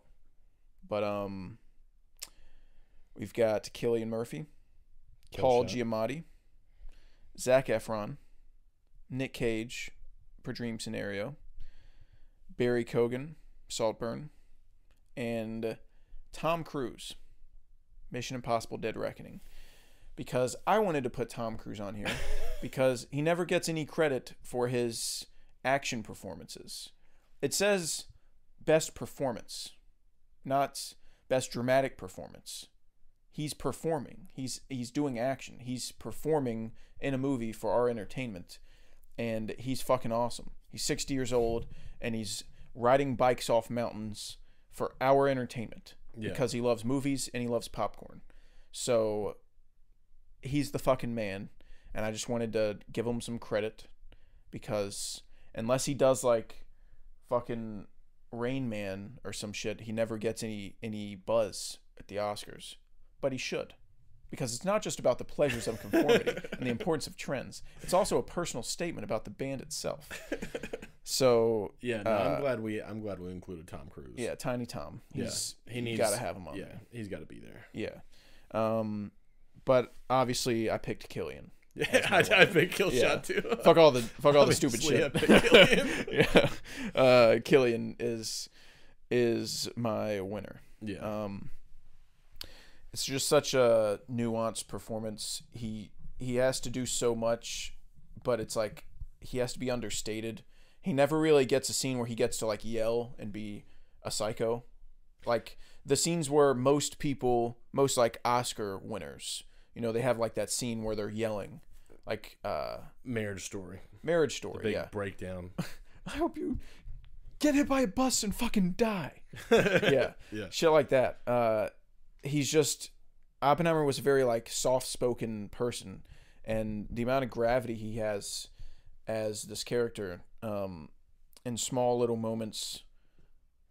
I just I think his line delivery is perfect. I think his accent's perfect. He got all the mannerisms right, and he like talk about being the movie Yeah, there may not be a shot of this movie where he's not in it. Yeah. I mean, the the runtime's three hours. He's at he's at least in like two hours and fifty nine minutes of the movie. yeah, dude. yeah, it's crazy. ridiculous how often he's on screen, and he fucking killed it. Yeah, I also think that's part of the genius of Oppenheimer is that he never gets that big scene, but they use the visuals in the movie to portray his internal uh like feelings that he doesn't manifest to people. Yeah. But I'd say the scene where he gets to express the most is the scene after the incident with Florence Pugh, and like he's out in the out in the desert, and like Emily Blunt finds him and he's crying. yeah. That's about it. Like other than that, he's just got to be pretty like serious and like you know Yeah. not really show too much emotion. But uh, he's just so. but even that good. like if he doesn't win the Oscar, I'm gonna be upset. yeah. Unless it goes to something crazy, like if they give it to Zac Efron or like Paul Giamatti or something. But like it's got to be Cillian. Yeah, I do think that some people overlook um, like more reserved performances to find the big, big, huge Loud performances. performances. Yeah. Yeah, but I mean, I'm very, very familiar with Cillian Murphy, yeah. and I see him in Oppenheimer, and he is Oppenheimer. Yeah. I don't see Cillian Murphy anymore. Yeah. Also, side note, um, Leonardo DiCaprio should have won Best Actor for Rick Dalton instead of Joaquin Phoenix for Joker. Just wanted to throw that out there. Heck yeah, Do you agree with that statement? I do. Yeah, Okay. I think so. I just wanted to. Just had to say that. You're a miserable drunk. I ain't. I, just- Good time out of three or four. I ain't gonna hurt her. I just want her to play the fiddle. Tell her to play her little chili pepper heart out. Anything we can do about that heat? It's flamethrower. It's a flamethrower. Right, right, right, right. Anyone order fried sauerkraut? Die, you Nazi bastards! oh, here I come. Here I come. All right. um. So that was big King Penis actor. Um, and then we have the Him for Real award, which is best director. yeah, he's him for real. Yeah, he's him for real. Yep. Um, the nominations are Christopher Nolan for Oppenheimer, James Gunn for Guardians of the Galaxy 3, Chad Stahelski for John Wick 4, um, Durkin for The Holdovers, and oh no, Durkin's uh, Iron Claw, Iron Claw, and um, fuck, I'm drawing a blank. The Killer. Come on. You got it. Push. Push. What's his name? David Fincher. David Fincher. God bless, dude. What a fucking dumbass. Have some milk to drink, you fucking idiot. David Fincher for the killer. God, I'm a fucking idiot, dude.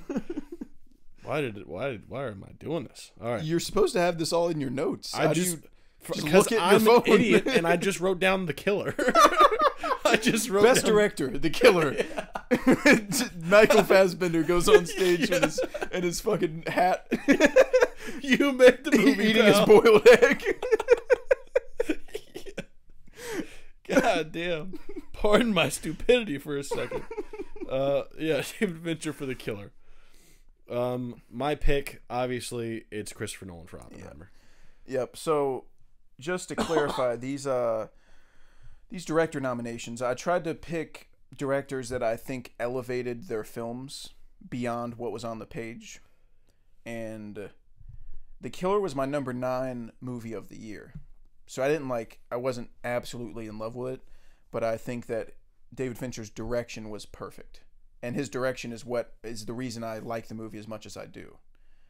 He's a fucking master Yeah. and uh, Sean Durkin. I thought he directed the shit out of the Iron Claw and elevated what was on the page. Uh, James Gunn, Chad Stahelski. It- not that it matters, but if Oppenheimer didn't come out this year, I would be giving this to Chad Stahelski. I would be, yeah. He's he's say. the runner up for me. He was. We can't keep talking about John Yeah. It, I'm I gonna, mean, that movie, really, that movie doesn't get made without Chad Stahelski. no, Like, there's there's no one else No. that's doing action on that level. Yeah. Probably So- gets made as a Peacock original and they recast Keanu Reeves for fucking Ezra Miller or some dumb shit. Um, but yeah, those are why we picked the guys we did, and it's Christopher Nolan. I mean, he. Holy fucking shit. I mean, I, Christopher Nolan's my favorite director, and I still didn't think I would like Oppenheimer as much as I do. I mean, it is a it's a masterclass on like Yeah. every level, directing, writing, everything, and the reason Oppenheimer is so good is because of his directing. Yeah. Like, just the the little shit like uh, Oppenheimer daydreaming in his bed in, in college, and then the little atoms like swirling in front of the camera, like the blue atoms, and it's Yeah. like him daydreaming. But they actually filmed that. Like that's not CGI. Christopher Nolan himself held like this little thing, this like metal wire with like this blue ball on the end of it, and like spun it really fast, and got this like, dude. He's just fucking working on another level. He made a court scene feel like fucking 9/11. Yeah. I thought I That's- was about to get shot in the head. Yeah, I thought my heart was about to explode during a court scene. Yeah. Like it's it's insane. The man is king penis at everything. He's transcended reality. He's in a higher dimension than everyone else. Roger rules. yeah, dude. Not to mention he's just the coolest. He's guy just the ever. coolest fucking guy. If you're not first, you're last. If you're not first, you're last. he's He's dude, wearing a suit. people always quoting think- fucking Ricky Bobby, dude. That's yeah, crazy. Yeah, Robert Downey Jr. talked about how like as an actor, there's two Christopher Nolans, and there's the one that you haven't met yet that you're terrified of because you've seen his work and you know how professional he is and how serious he is, and then there's the Christopher Nolan that after you've met him and you realize how much of a normal, funny, like, goofy guy he is, and I just think that's like. That's like Hollywood's best kept secret is Yeah. how fucking silly Christopher Nolan is. Rodrick Rules is a crazy response. Yeah. Rodrick Rules. Yeah, like Why he didn't, you he didn't even Diary say like Wimpy Kid? he didn't even say like yeah my kids really like those movies so I've seen them or No. like oh yeah like I was doing research for the casting and like I saw him I saw him audition so I checked out what he's been in Yeah. before. He just that was his response like He's Roger seen rules. He's Yeah. he's a part of the mythos. yeah. And like he acknowledged that like he knew Josh Peck from Drake and Josh. Yeah. So, like he's just a fucking Chad. I also love. He's fucking sick. there's a video of him going into the video store with I forget who else was with him. Cillian Murphy. Cillian Murphy, yeah. Yeah. And he picks up every single movie and goes, oh, "I love this film." Yeah. yeah. I love I've seen that video. He's seen everything and he loves everything. Yeah. That's crazy. Dude, how can you not like Christopher Nolan? He's the coolest. Yeah. All right, so Oppenheimer for him for real, Mhm. Christopher Nolan. Now we have the uh, Sex to the Ears, which is best score. Yep. So we have Oppenheimer nominated, uh, Ludwig. Yep. Across the Spider Verse. I don't know if I know who did the score. Daniel. Pemberton. Okay. Um, TMNT, Suzume, and The Killer. Yep. We have I just realized we have two Trent Reznor and Atticus Ross scores on here Ooh. cuz they did I mean, they did Teenage Mutant Ninja Turtles, right? Oh yeah, they did, didn't they? Yeah. Trent Across Reznor and and Atticus Ross did The Killer and TMNT Hell yeah, cuz They're they're, just fucking- fucking sick. they're crushing it, dude. Yeah. Uh, my winner is quite Yeah, obviously but fuck all that Oppenheimer. noise. It's Ludwig. Yeah, fuck all the dumb for shit. Oppenheimer. Yeah, it's. I mean that one. There's. I will not be entertaining any other ideas. Yeah. I will not hear any other people's opinions on what should win best score if their answer is an Oppenheimer. You're Yeah. a fool.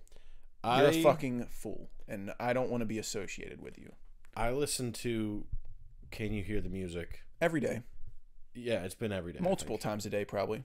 I put it on when I had like 16 hours of work to do and I had to do it in like four. Yeah, And I finished with time to spare. yeah.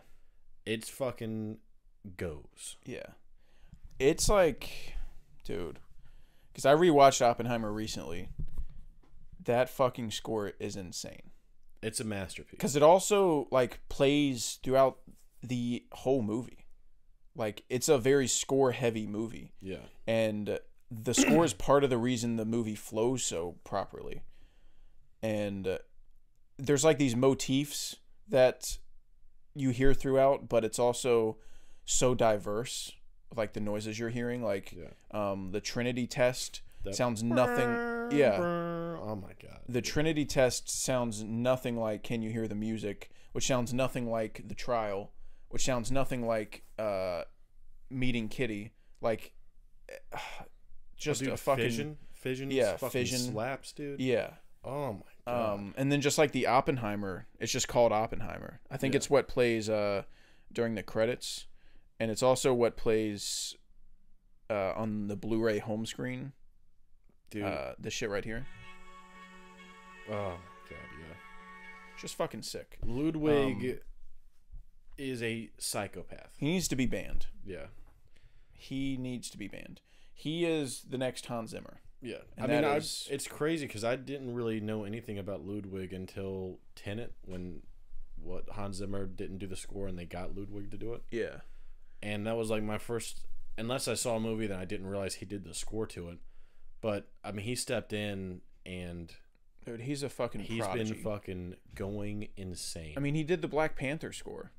oh my god, And I know you you're not huge on Black Panther, but the score is one of the best the parts of Black Panther. yeah, is insanely good. It feels like Wakanda. Yeah, And like the Tenet score is one of the best things I've ever heard in my goddamn life. yeah, So he's doing he like t- the Mandalorian, yeah. The Mandalorian. like every single thing he does feels perfect. It feels exactly like what the movie should sound like. Yeah, And uh, I mean, I'm really glad that Nolan's working with Ludwig now instead of Hans Zimmer. Yeah. Because I love Hans Zimmer, but sometimes his scores can sound alike. They can sound like sometimes he kind of just does like rinse and repeat the same thing. yeah, Sometimes not. Like Interstellar is still the best score I've ever heard in my life. yeah, And it sounds nothing like anything he's done before. And he's done Pirates of the Caribbean and, yeah, you know, he's the GOAT yeah. but Ludwig, like every single thing he does, so feels so distinct.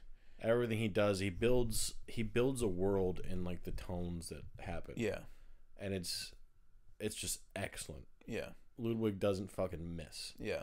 he's chewing them up he's chopping it up Greg is chopping it up. Greg is chopping it up. yeah Um, he's he's a deadlock for the win if if he if doesn't there's get if it they dude. read any other name than Ludwig Göransson on a, on the night of the Oscars, i'm gonna hurt somebody I will do unnameable things yeah that I can't mention here on the scoop. I will do things I'm not proud of. Um, it's gonna be bad. yeah but hopefully that won't happen because I, I feel like they know. Like they well they don't know because last year the batman should have won and they gave it to fucking bomb. You gave it to Dude. that because that's better. That that's a better score right? That's that's that score is cool but it's give it- also that through the whole movie. Or give it to babylon. Babylon was the one score like that i would understand beating the batman. Yeah batman didn't even make the fucking short list Yeah. let alone the nominations but like It didn't make the short list. all You're telling me like, it wasn't a top 20 score of the year. that's crazy It was the best score of the year, and you're telling me it wasn't top 20. yeah Fucking suck my dick. yeah i don't know i i liked the all quiet thing but that's that's the only song from all quiet if there is others that No. stood out to me It's it's one track and they just loop it. Yeah that's the th- i'm like that's cool but that's that's all you did Yeah. that one thing like You played Batman one has note. multiple songs Yeah. You got one guy with a trumpet to just play one note for 30 minutes. Bum, bum. Yeah, versus Voodoo Mama. yeah that's What are, what the fuck are we talking about? what are we even Yeah. talking about versus fucking um oh, oh I'm disappointed in myself. No, the uh the opening opening fucking shit in the Batman. Can't fight City Halloween. oh yeah dude Dude. that's that's better that's better Sorry, like go fuck yourself. Fucking How about be dead now? Die? How about you grow up? Get real. Yeah. How about that? Hey Putin, fucking get real. All right. Atheists. Explain this. Hey Stalin, knock it off. oh my god. All right. What do we got next? Compass cinematography. Ah, I You see. want to read the noms for that? Do you want to do it? You Yeah. want me to do it? I can do it. All right. Um, we've got Oppenheimer, Up in Hizzy John Wick Foe, on John Wheezy, Saltburn, Salt Wheezy, Asteroid City, Ast Wheezy, and The Killer. the Kill Wheezy. That's great. Who's your Who's your comest cinematography? Um, just rip the band-aid off. Surprise, surprise, it's Oppenheimer. oh yeah, Yeah. mine's not. Whoa. Mine's John Wick Four. That's crazy that you're wrong. Oh, am I? Yeah. It's uh it's Oppenheimer. I don't know if you heard, but it's Oppenheimer. this might be a shock to you. Yeah, dude. I was I was thinking about it. Like I was comparing them, and they're one and two. Obviously, if it didn't go to John Wick Four, it'd go to Oppenheimer. But I was thinking about like shots, like which film. I know there's more to cinematography than like which had the coolest shots, but John Wick wins that battle of coolest shots. Yeah, if you narrow it down to that one thing and and base it on that one thing, yeah, Okay, so what is Oppenheimer better at? everything. No, name one thing. It's everything. Oh, Everything. Dude, it's it's they do some of the coolest shit with the camera work that they do.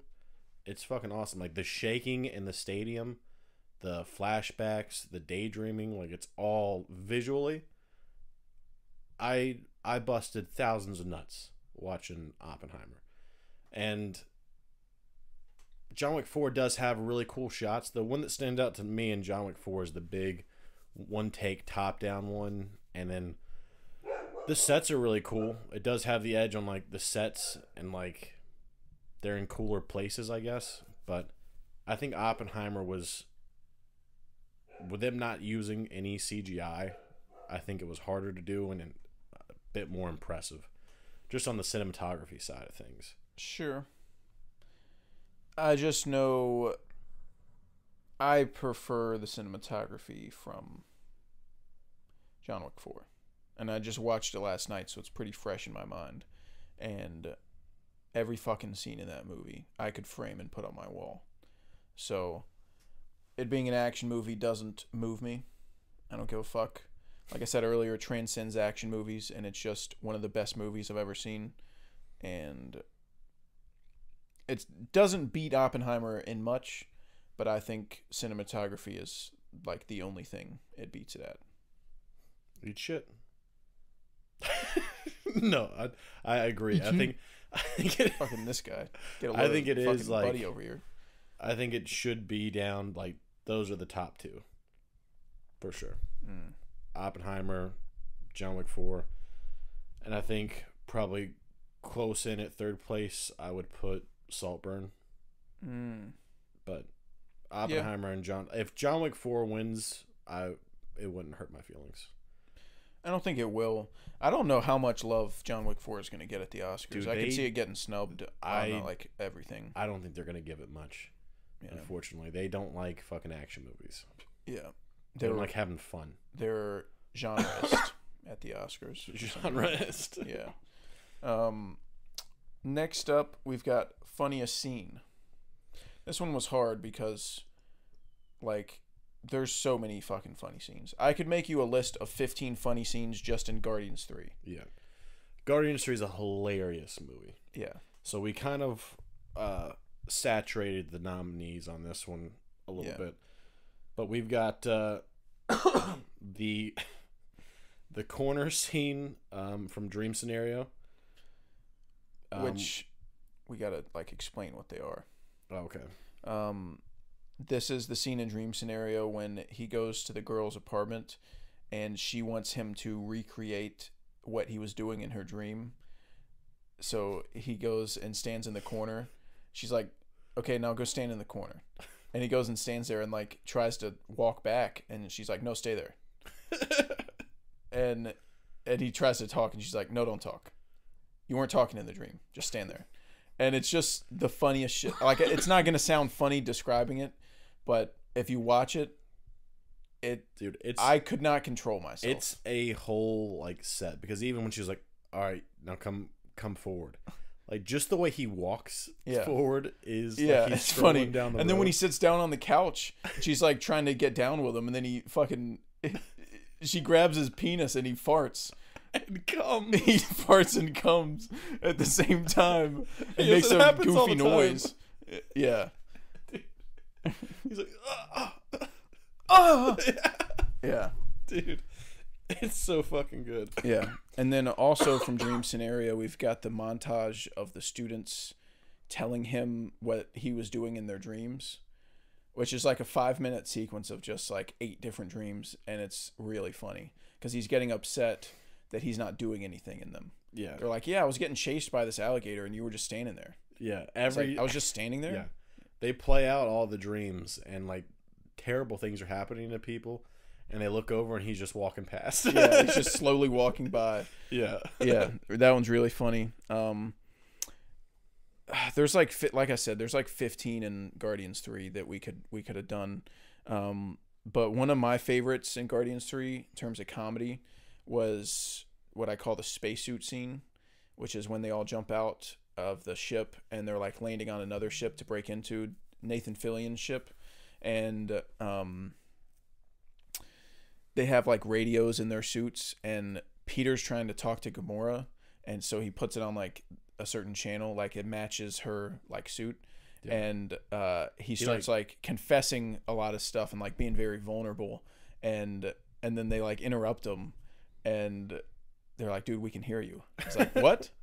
He's like, "I put it on. I put it on the red channel," and he was like, "Yeah, that's the public. That's the public line, or whatever." And uh, and then he was like, uh, "So what? What color is Gamora?" And then he was like, "Gamora's button is green." He was like, "Blue means red. Red means green. Green means yellow. Yellow means blue." and then he was like, "How was I supposed to know that?" He's like, "It seemed intuitive." yeah, dude. Drax is so funny in Yeah. that movie. Yeah, Seemed intuitive. yeah. And uh, Mantis is like, "Yeah, we heard everything," and Drax goes, "And it was painful." And she's like, he's like, why didn't you say anything? And they're like, we were hoping it would stop.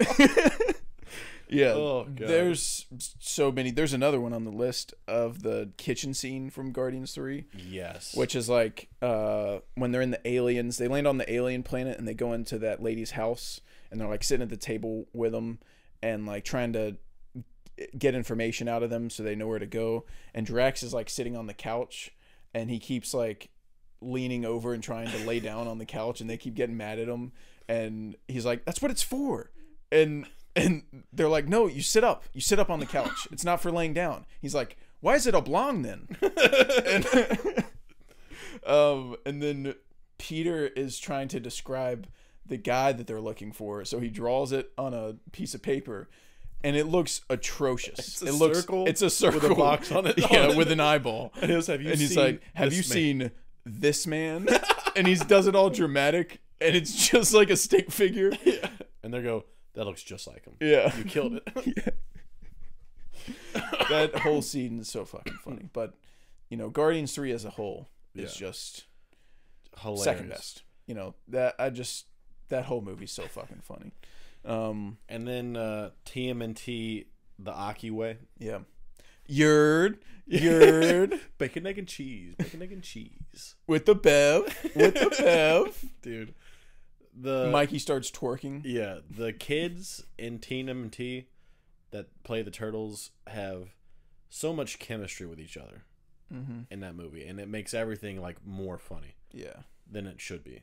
Yeah. So the Aki way was hilarious. Yeah, it's, and like little things you can barely hear because they all talk over each other, but like there's they're talking about humans and how like there's some humans that they like, and someone says Drake, and then Ra- uh, Raph goes, "Dude, he's the goat of all time." and I just thought I just Yeah. think little shit like that's so funny because like that's not what you say. Smooth like butter. Smooth like butter. Come on, guys. Come on, Come on, smooth guys. like butter. you don't even know the words. Oh, Is that a milker? Does that say milking machine? Why do you oh. always go straight to milking? we don't even have nipples. Jesus Christ, dude! I Yeah. love TMNT. Yeah. All right, so funniest scene. I gave it to the corner scene from Dream Scenario. Mm. I did as well. Yeah, dude. I don't think I've laughed more at a scene than, than that. I don't know if it's because the guys beside me were dying laughing. That that didn't that didn't But make it any worse. I laughed through like over the next couple scenes Yeah. and drowned out yeah. the movie. I it's not like, really something we can like recreate on the podcast. It's just you got to see it for yourself. But it is so fucking. I'm buying the Blu-ray just so I can rewatch that. yeah, dude. it's so fucking funny. Um, It's great. Next up, we got best needle drop. We've got No Sleep Till Brooklyn, Guardians 3 Mhm. Dog Days Are Over, Guardians Three. Tom Sawyer in the Iron Claw, Hell yeah. hard dick shit. Murder on the Dance Floor, Saltburn, and Paint It Black in John Wick Four.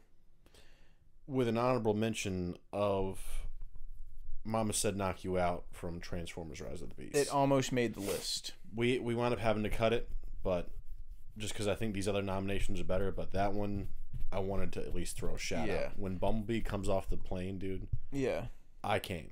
yeah, I Came love that pants. scene. Yeah. And most people don't like that movie, so fuck them. We're the cool ones. we right? know I know bangers. I know bangers. this is not a banger, and I know bangers. Rise of the Beast is fucking awesome. Yeah, I want to own it. I need to buy it. yeah. People are just silly. Yeah. Goofballs that don't know tr- the truth, Yeah, and we do. silly men that do silly things. Yeah. Yeah. All right. What's your pick for best needle drop? This one was tough. I think all of these, maybe except for Paint It Black, are worthy of winning. Um, but I went on my list. It says I went with No Sleep Till Brooklyn. I'm saying on my list because like it. Are you second guessing your I, list? I, I don't know. Like Because I'm going to tell you right now, like, Paint It Black, I think, didn't make it because it's uh, in French. And I get that they're in France and it makes sense. I don't think that would make a difference for me if it was in English. I thought the setup to it, like her saying, like, the man in black is coming, and then Mm-hmm. it comes up and it plays Paint It Black. And I'm just like, that theme. That's pretty cool. I went with uh, Dog Days from Guardians of the Galaxy. See, that's what I'm thinking about. and I kind of narrowed it down to like after Guardians, I added Dog Days to my playlist and listened to it all the time. I never mm-hmm. skip that song anymore because it makes and it it's also creates a scene that's so filled with emotion. Like No Sleep Till Brook, Brooklyn is badass. It, mm-hmm. it gets my wiener hard. I'm there for it. They fight. It's sick Yeah.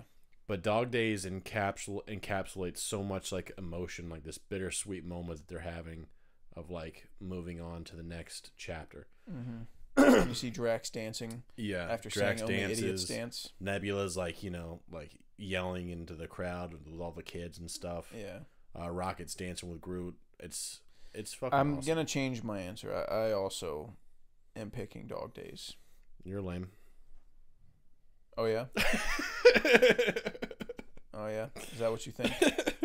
no i you know what was actually a close second for me was murder on the dance floor Dude, I think that's a fucking baller ass needle Dude. drop. and then you get the re- the the naked reveal All right, let's not get ahead of ourselves. dude. I've I've been jamming out to Murder on the Dance Floor. Yeah, I was listening to it at the gym, That's thinking cool. about cock. You're like maybe if I work out hard enough, my penis will get My bigger. penis will grow, and I'll look like Barry. Yeah. Um, yeah, dog days are over. Best needle drop.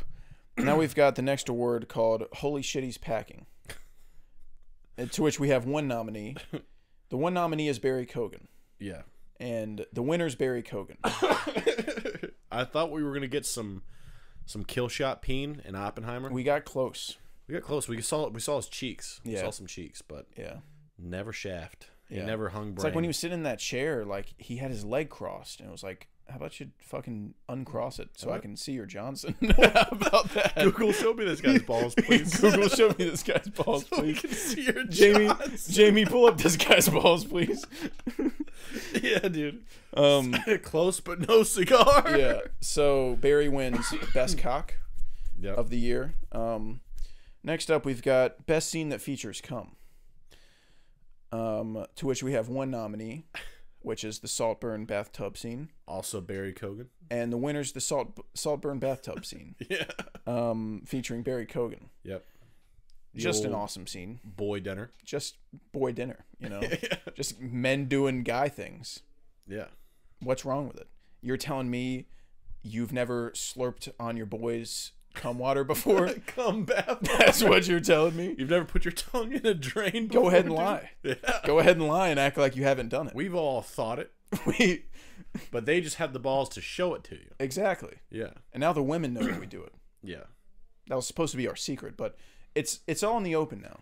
Sometimes you just you need a swig. Yeah. Oh, by the way, by the way, when we were watching Saltburn, um, I was like, uh, the scene where Jacob Elordi, they're at the pool, and Jacob Elordi is like pretty visibly upset with Barry, and uh, and he doesn't know why, and I was like, oh, like, uh, what what's his name, the Dustman Lap guy. Oh, Farley. Farley, yeah. I was like, oh, Farley told him that like Barry was, you know, went vampire mode on his sister, Yeah. and the girl was like, please never say vampire mode again in your entire life. Dude, that was rough. You- you went straight from like the bathtub scene to that. I was like, dude, this guy doesn't give a fuck Yeah, about dude. anything. Ayo Edebiri's Letterboxd review. She said, so he was doing all that, but can't eat runny eggs. dude. That's crazy. That is kind of crazy now that now that I'm thinking about Yeah. it. You should be able to stomach anything, pal. God damn. what a nasty fuck. All right, next up, big category here. Yep. Cummest scene. Uh, this goes without saying. It's the Cummest scene. Yeah. So uh, we've got a lot on here. Here's the nominees: Oppenheimer, Trinity Test.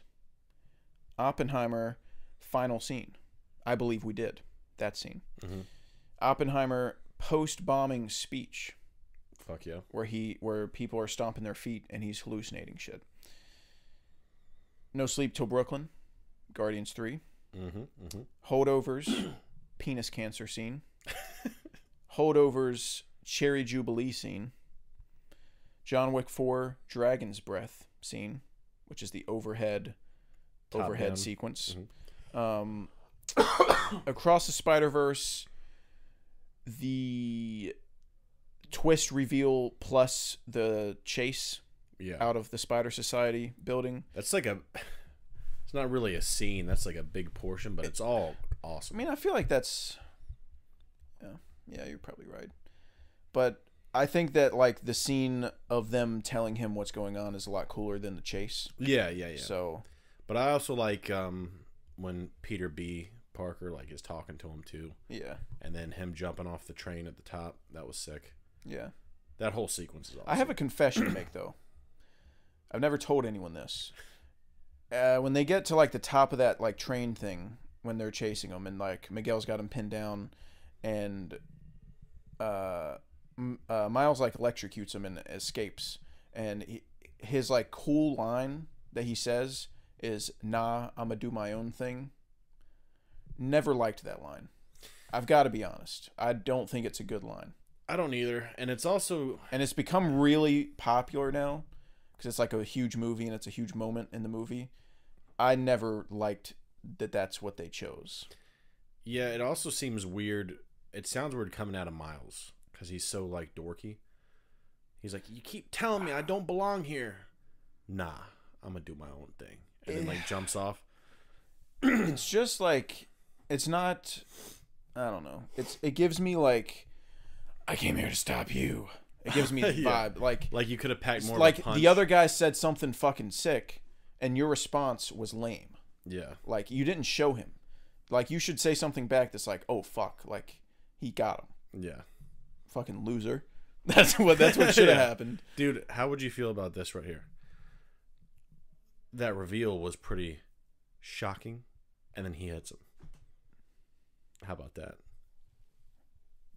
I may need to find a new co-host. I don't want anything like that to ever happen again. That's sick, dude. What are you talking about?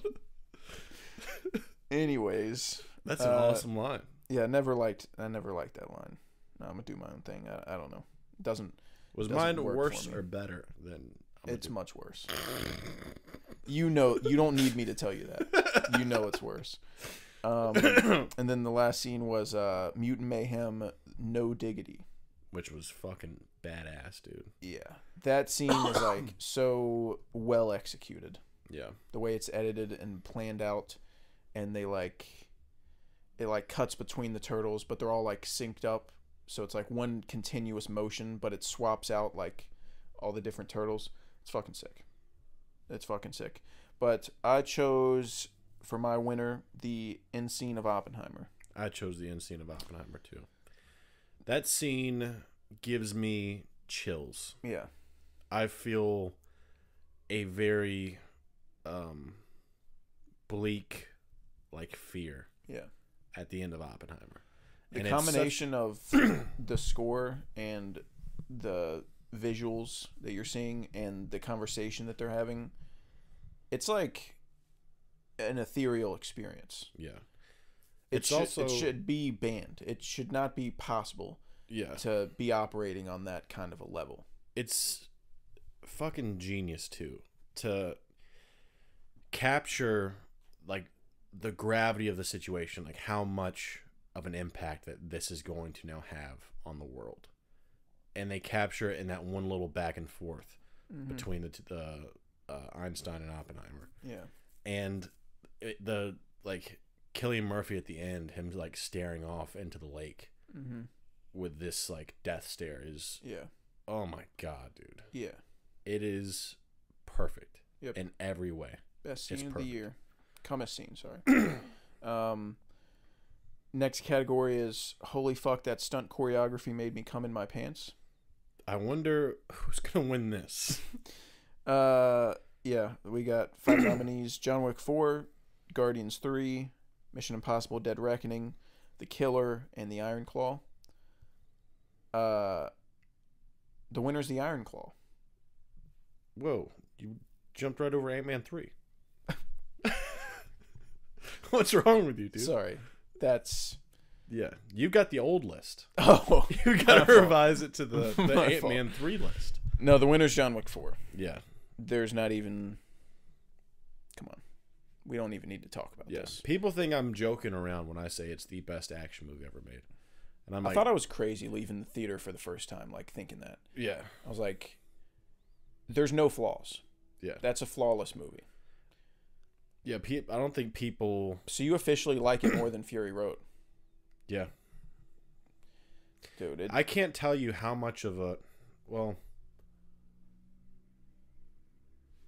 yeah, I can tell you, I, I like it so. significantly more. I think so. Fury Road's a lot of fun, but I think pound for pound, John Wick Four has got it. John Wick Four has so much variation in in what it's doing. Like the first act is in Japan, and people are using fucking samurai swords and nunchucks and cool shit. And there's a scene where he's in the desert, and then he goes to fucking Paris, and. Uh, it's just oh and then he goes into the nightclub where it's fucking raining for some reason and he's fighting Scott Adkins in a fat suit and Which they put him in the fat suit just to put him in a fat Yeah, suit. Yeah, and then he's getting tortured by Russians, and then he's playing fucking cards, and then he cuts a guy's throat with a card. It's like this. It's always changing. It's always uh, and then the stair scene at the end, Oh yeah. like Oh dude, when when he cuts that guy's throat, Logan went oh. like, like, what the fuck? why is that your reaction? just because it's crazy. Like that's that's a crazy. It's John Wick. What do you I know, but it's just it's still like yeah, startling. that's, that's funny. Um, no, it's it's John Wick. Yeah. I I can't think of a movie that's doing action better than John Wick, and people like raved about Fury Road, Mm-hmm. and I feel like it's better than Fury Road, and not enough people are talking about how fucking good John Wick Four is. Mm-hmm. Maybe it's because it's the fourth movie; it's not like an original, But, but that Fury shouldn't Road matter. was a fourth movie. Yeah, but it's kind of like a, it's kind of like a soft reboot a little bit. Yeah. But I don't know. I just feel like John Wick Four isn't getting enough respect, dude. It's fucking insane. Dude, there's some people that give it the respect that it deserves, and it's like in every. I just hate that Oppenheimer came out the same year. Cause like I want to give John Wick Four just like everything. Like I wish it was my favorite movie of the year, but it's really like Guardians Three. I still have Guardians Three over it just because the emotion that I feel during Guardians Three. Yeah, I think that I- may change eventually. They're both five out of five Yeah, but John Wick doesn't really make me feel anything other than like having an erection. yeah. But Guardians 3 is like it'll if I'm locked in and like paying attention to it, it'll make me cry. Yeah. So I'm, I, it'll make me laugh. I've got it stacked up the same way now. But I mean, an action movie, a, full bore action movie being in the top top five movies of the year is I feel like Ridiculous. insane. Yeah. It being top a- three competing with Oppenheimer and Guardians Three is wild. That's Yeah. crazy. Yep. There's some there's some people that really love it and give it the flowers it deserves and then there's some people that just didn't like it. They they just like don't like action movies, I guess. Can you imagine? Just not liking having fun. Yeah. and being a cool guy. Yeah. Nah, fucking morons. Yeah. Anyways, um, next up we got film that made me want to cut off my left toe and blend it up and drink it. what a category, dude. if you know me, you probably know what what I chose for my winner here. Uh, but the nominees are The Nun 2, Insidious: The Red Door, The Exorcist: Believer, Ant Man and the Wasp: Quantumania, and Mario. And gonna rip the band-aid off. I chose fucking Mario. really? Cause it fucking sucks. That's why. it blows dick. That's why. Because it fucking sucks. Oh, dude. This was kind of a hard one for me, too. All these movies suck ass, dude. None of them suck ass as much as Mario. I don't know, dude. Exorcist Believer is garbage. Ant Man 3 was garbage. The Nun 2 was garbage. The Red Door was garbage. Mario was garbage. Like, the movie I hated the most, I'd say Ant Man 3. The close second for me was Exorcist Believer Okay. and it just sucks because one of the biggest sins you you can make a bad movie and I will walk away from that and say you did a bad job. but at least you tried something. Yeah. But when you're trying to take like valuable um properties and you do a dog shit thing with that, now it becomes a bigger problem. When you're taking like the Exorcist property, something that people hold very dear, and you take a shit on it and you say, I hope you like this. now we have a problem, pal. Hope you guys like this steaming pile of shit I just cooked up. Let me know what you think. I'm not gonna let you shit in my mouth and make me call it chocolate ice cream. You just shit in my mouth, dude. but Um, Ant Man three, I think, is like Marvel is is bad right now. It's bad, flat out bad. yep. Guardians three was their shining light, and now they don't have that anymore, so they're bad. They don't have the gunster. Yeah, Gunn is gone. Gunn's doing cool stuff. Yep. follow him. But I feel like Ant Man 3 was like, okay, this is where Marvel is at now. Yeah. And it was horrible. Yep. And it also has uh, terrible jokes. Yep. Like, I thought I was going to at least get Paul Rudd being funny. And he really didn't Dude, deliver on a, a lot of stuff. movie being funny saves it. It Yeah. saves everything about it. just land the jokes. if Ant Man three was like horrible narratively, but it was like really funny. It was like as funny as Guardians three, but without the quality. I'd give it like a four star. yeah, But it's ins- It's ridiculously unfunny. and it looks like fucking dog shit. There's no. There's. Other than like Jonathan Majors is like pretty cool as Kang. He's not like great. He's not some revelation, but he's like pretty good as Kang. Yeah. That's the only positive of of Ant Man. Like Yeah. and he's only cool as Kang is because that, that like that's the first time we actually see him being Kang, yeah. and we still haven't seen him be Kang since. and we then. never will.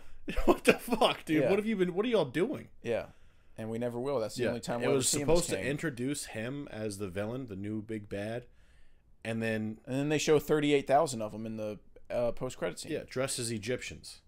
because there's What the nothing fuck like are we doing? there's nothing that's gonna make your villain feel important than having thirty-eight thousand of them. Yeah, Having a fucking Kang factory pumping out Kangs really makes him feel important, doesn't he? whatever factory they make Olivers and get the fuck out. Oh, I forgot about that line. Yeah. That's awesome. um, but yeah, and then MODOK in Ant Man three, like how in God's name do you see that and go looks good? but what you're forgetting is, Carl, just don't be a dick. Yeah, that whole thing, fucking die, dude. I hope Holy sh! Like, dude. I mean, there's someone at Marvel like gets paid to watch things, and uh, like over oversee things. You know, make sure everything's going smoothly. as one Where the would- fuck was he when this was getting made? guy was dozing, dude. Dude, like, holy shit. I mean, just look at the script. Like, this could have all been fixed if you just read the script and said, oh, it's dog shit. Um, just write something else. you just look at it and you go, Yeesh. so we're this was the first draft, right? You're, you're you, read, you read the script. Good night. God damn, son. what is this, pile of dog shit. This shit? could have all been prevented if you someone just proofread the script and said, "Oh yeah, this is stinky. Let's not make this. Yeah, Let's I get a new script." Yeah, I I think that with Mario, at least you have. I mean, don't. I'm not praising Mario. I'm just saying better in, compa- in comparison to Ant Man Unless you want to get your ass beat, you better not praise In Mario. comparison to Ant Man, you at least have some cool animation visuals and some neat callbacks to the Mario games. Quantumania, on thin ice right now. the Quantumania, you get Bill Murray, who I love, who's in it for no reason. and it also isn't funny in it. Yeah. Uh, you get bad jokes, Yep. shitty visuals, Yep. and a fucking don't be a dick storyline. What the fuck, dude? Yep. I like And they like actually fight the main villain of the movie for like two minutes, and then he like kind of dies and kind of doesn't. your big world Nothing happened. Your world changing villain got beat in a fist fight by Ant Man. By Paul Rudd, Yeah. actor Paul Rudd. I left that movie and I felt like I should call the police. I can't. There's no law against what happened, but, But it feels someone like there needs to- should be. Just someone needs to know about about it. Because I got fucked in the ass too. And I didn't want to be fucked in the ass. That's a problem. this is what happens when you fuck a stranger in the ass. Oh my god. I wanted to riot after Ant Man, dude. That was fucking horrible. Call the police. That was bad. That's a bad movie. Holy shit. All right. Yeah, I fucking hate Ant Man, dude. Uh, we've spent. Oh yeah, I guess I never really talked about how much I hate Mario. oh Um, yeah. Go on the spiel real fast. I don't.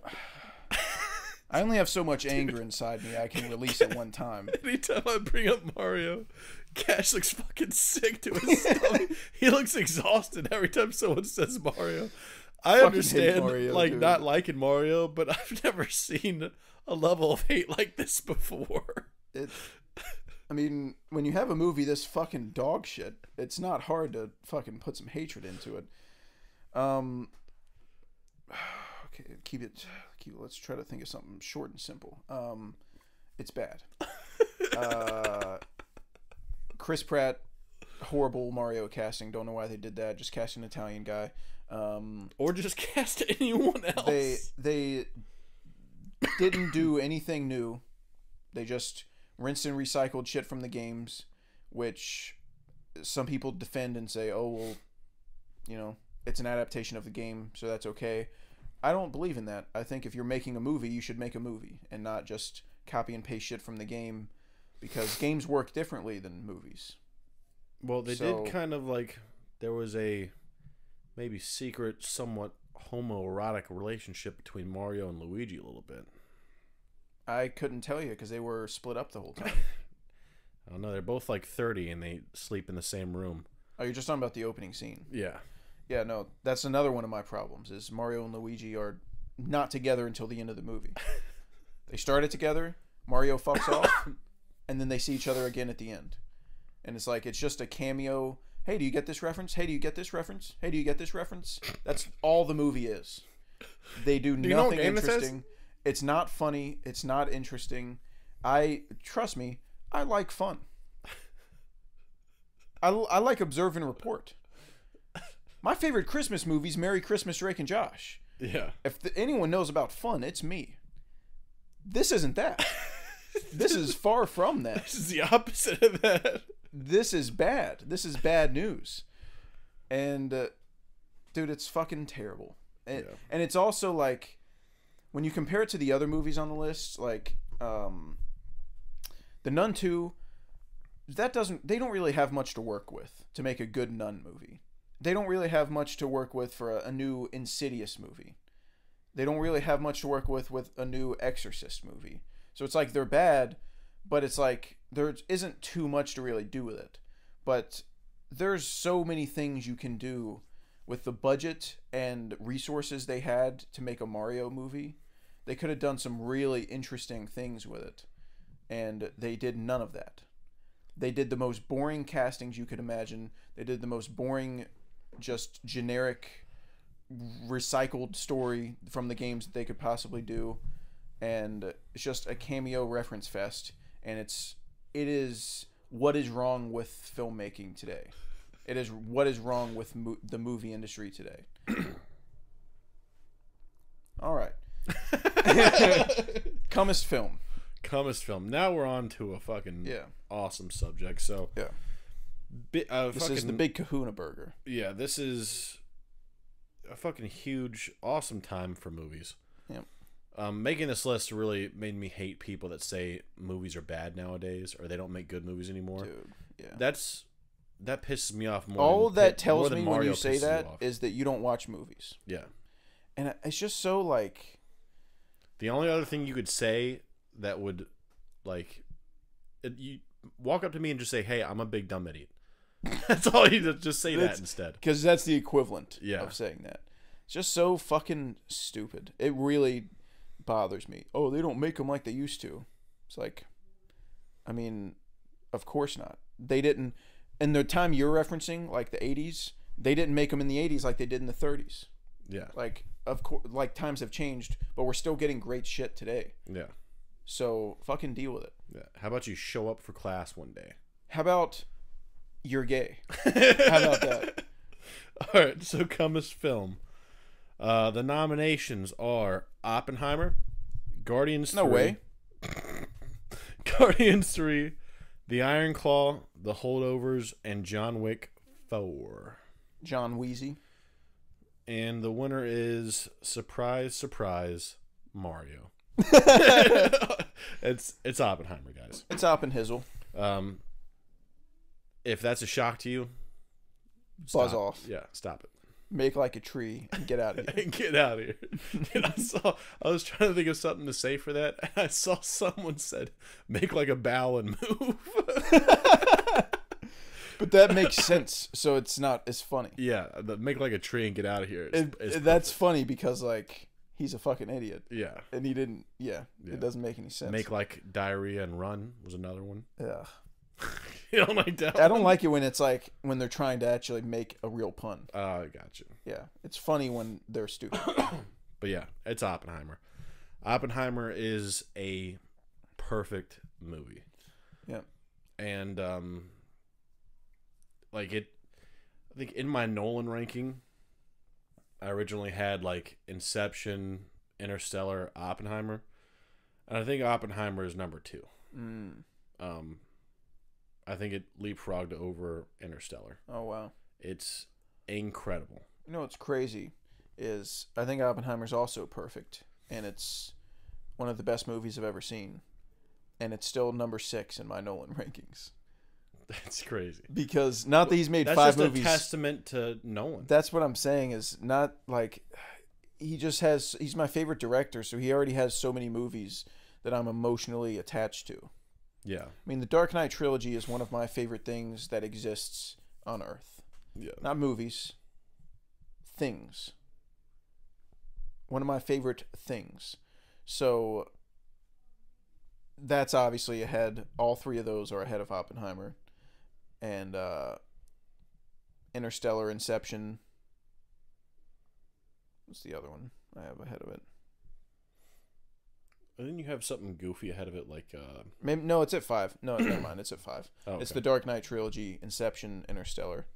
I have ahead of it because he's just a fucking But dog. nolan is dude He's him for real. he's hit after fucking hit and hit and hit. Like He's just if you got a look at horse the cock movies on he's him. made, like god damn, dude, take a break, yeah, calm down. yeah. And some people are like hesitant to crown him as like one of the best filmmakers because he's like sort of a blockbuster guy now. But when you're making fucking incredible blockbusters, Yeah, why would you stop? And it's like he's like some of them are blockbusters, yeah, like Tenet, but I mean Oppenheimer shouldn't be a blockbuster. It just is because it's so fucking good. yeah, It's a biopic. That's not a blockbuster. yeah. It ended up being because he's fucking wicked. And I'm sorry, but I don't give a fuck if it's a blockbuster. Yeah, Is it good? Is all of his movies good? exactly. There we go. That's what I That's care all I need to say. Yeah, I Is every single fucking movie good? yeah, For sure. So he's incredible. yeah. He's in. He's like.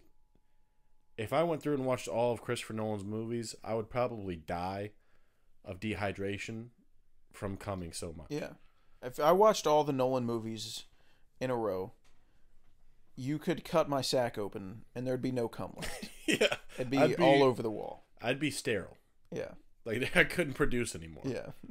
It'd be dumped out. She married you, not your dead jizz. Sorry. Uh, that's from The Watch. You Yep. guys should watch it. It's it's funny. It's a funny film.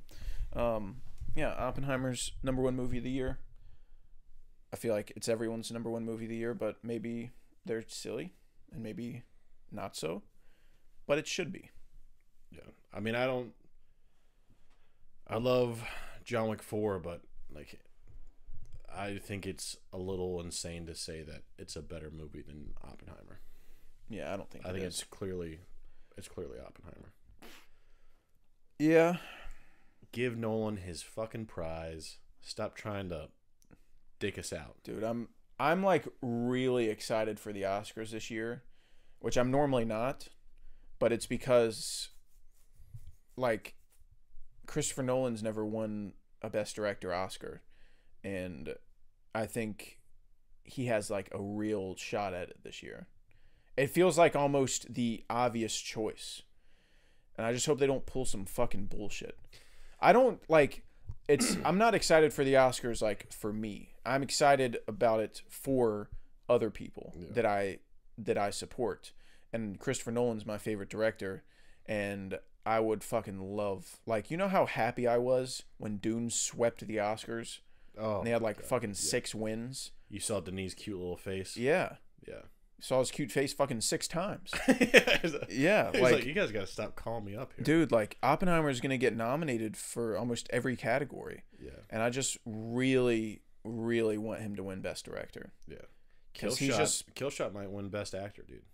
Oh yeah, I, I'm hoping so. I mean, I don't really know who they would pick if it's not He's him. gonna go up there and be like, "This is great, guys. Thank you."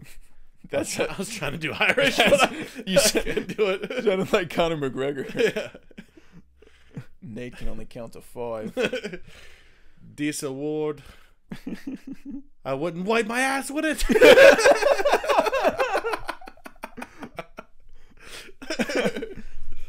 I'd like to take this chance to apologize to absolutely no one. the double champ does what the fuck he wants. I am become death. Destroyer of words. Break out the red panties. oh Jesus Christ! All right. All right. I think that's all we got for the Scoopies. Yep. I hope everyone enjoyed. Um, Let us know if you did, and if you didn't, don't worry about it.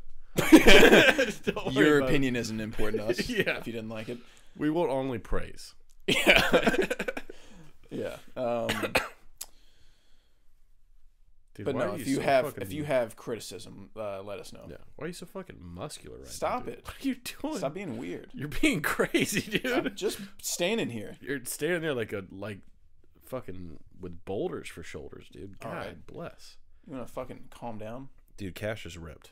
I want the I want the people to know. No, Yeah. no, no, no. If by ripped you mean tubby, I think you're about to fucking start singing push.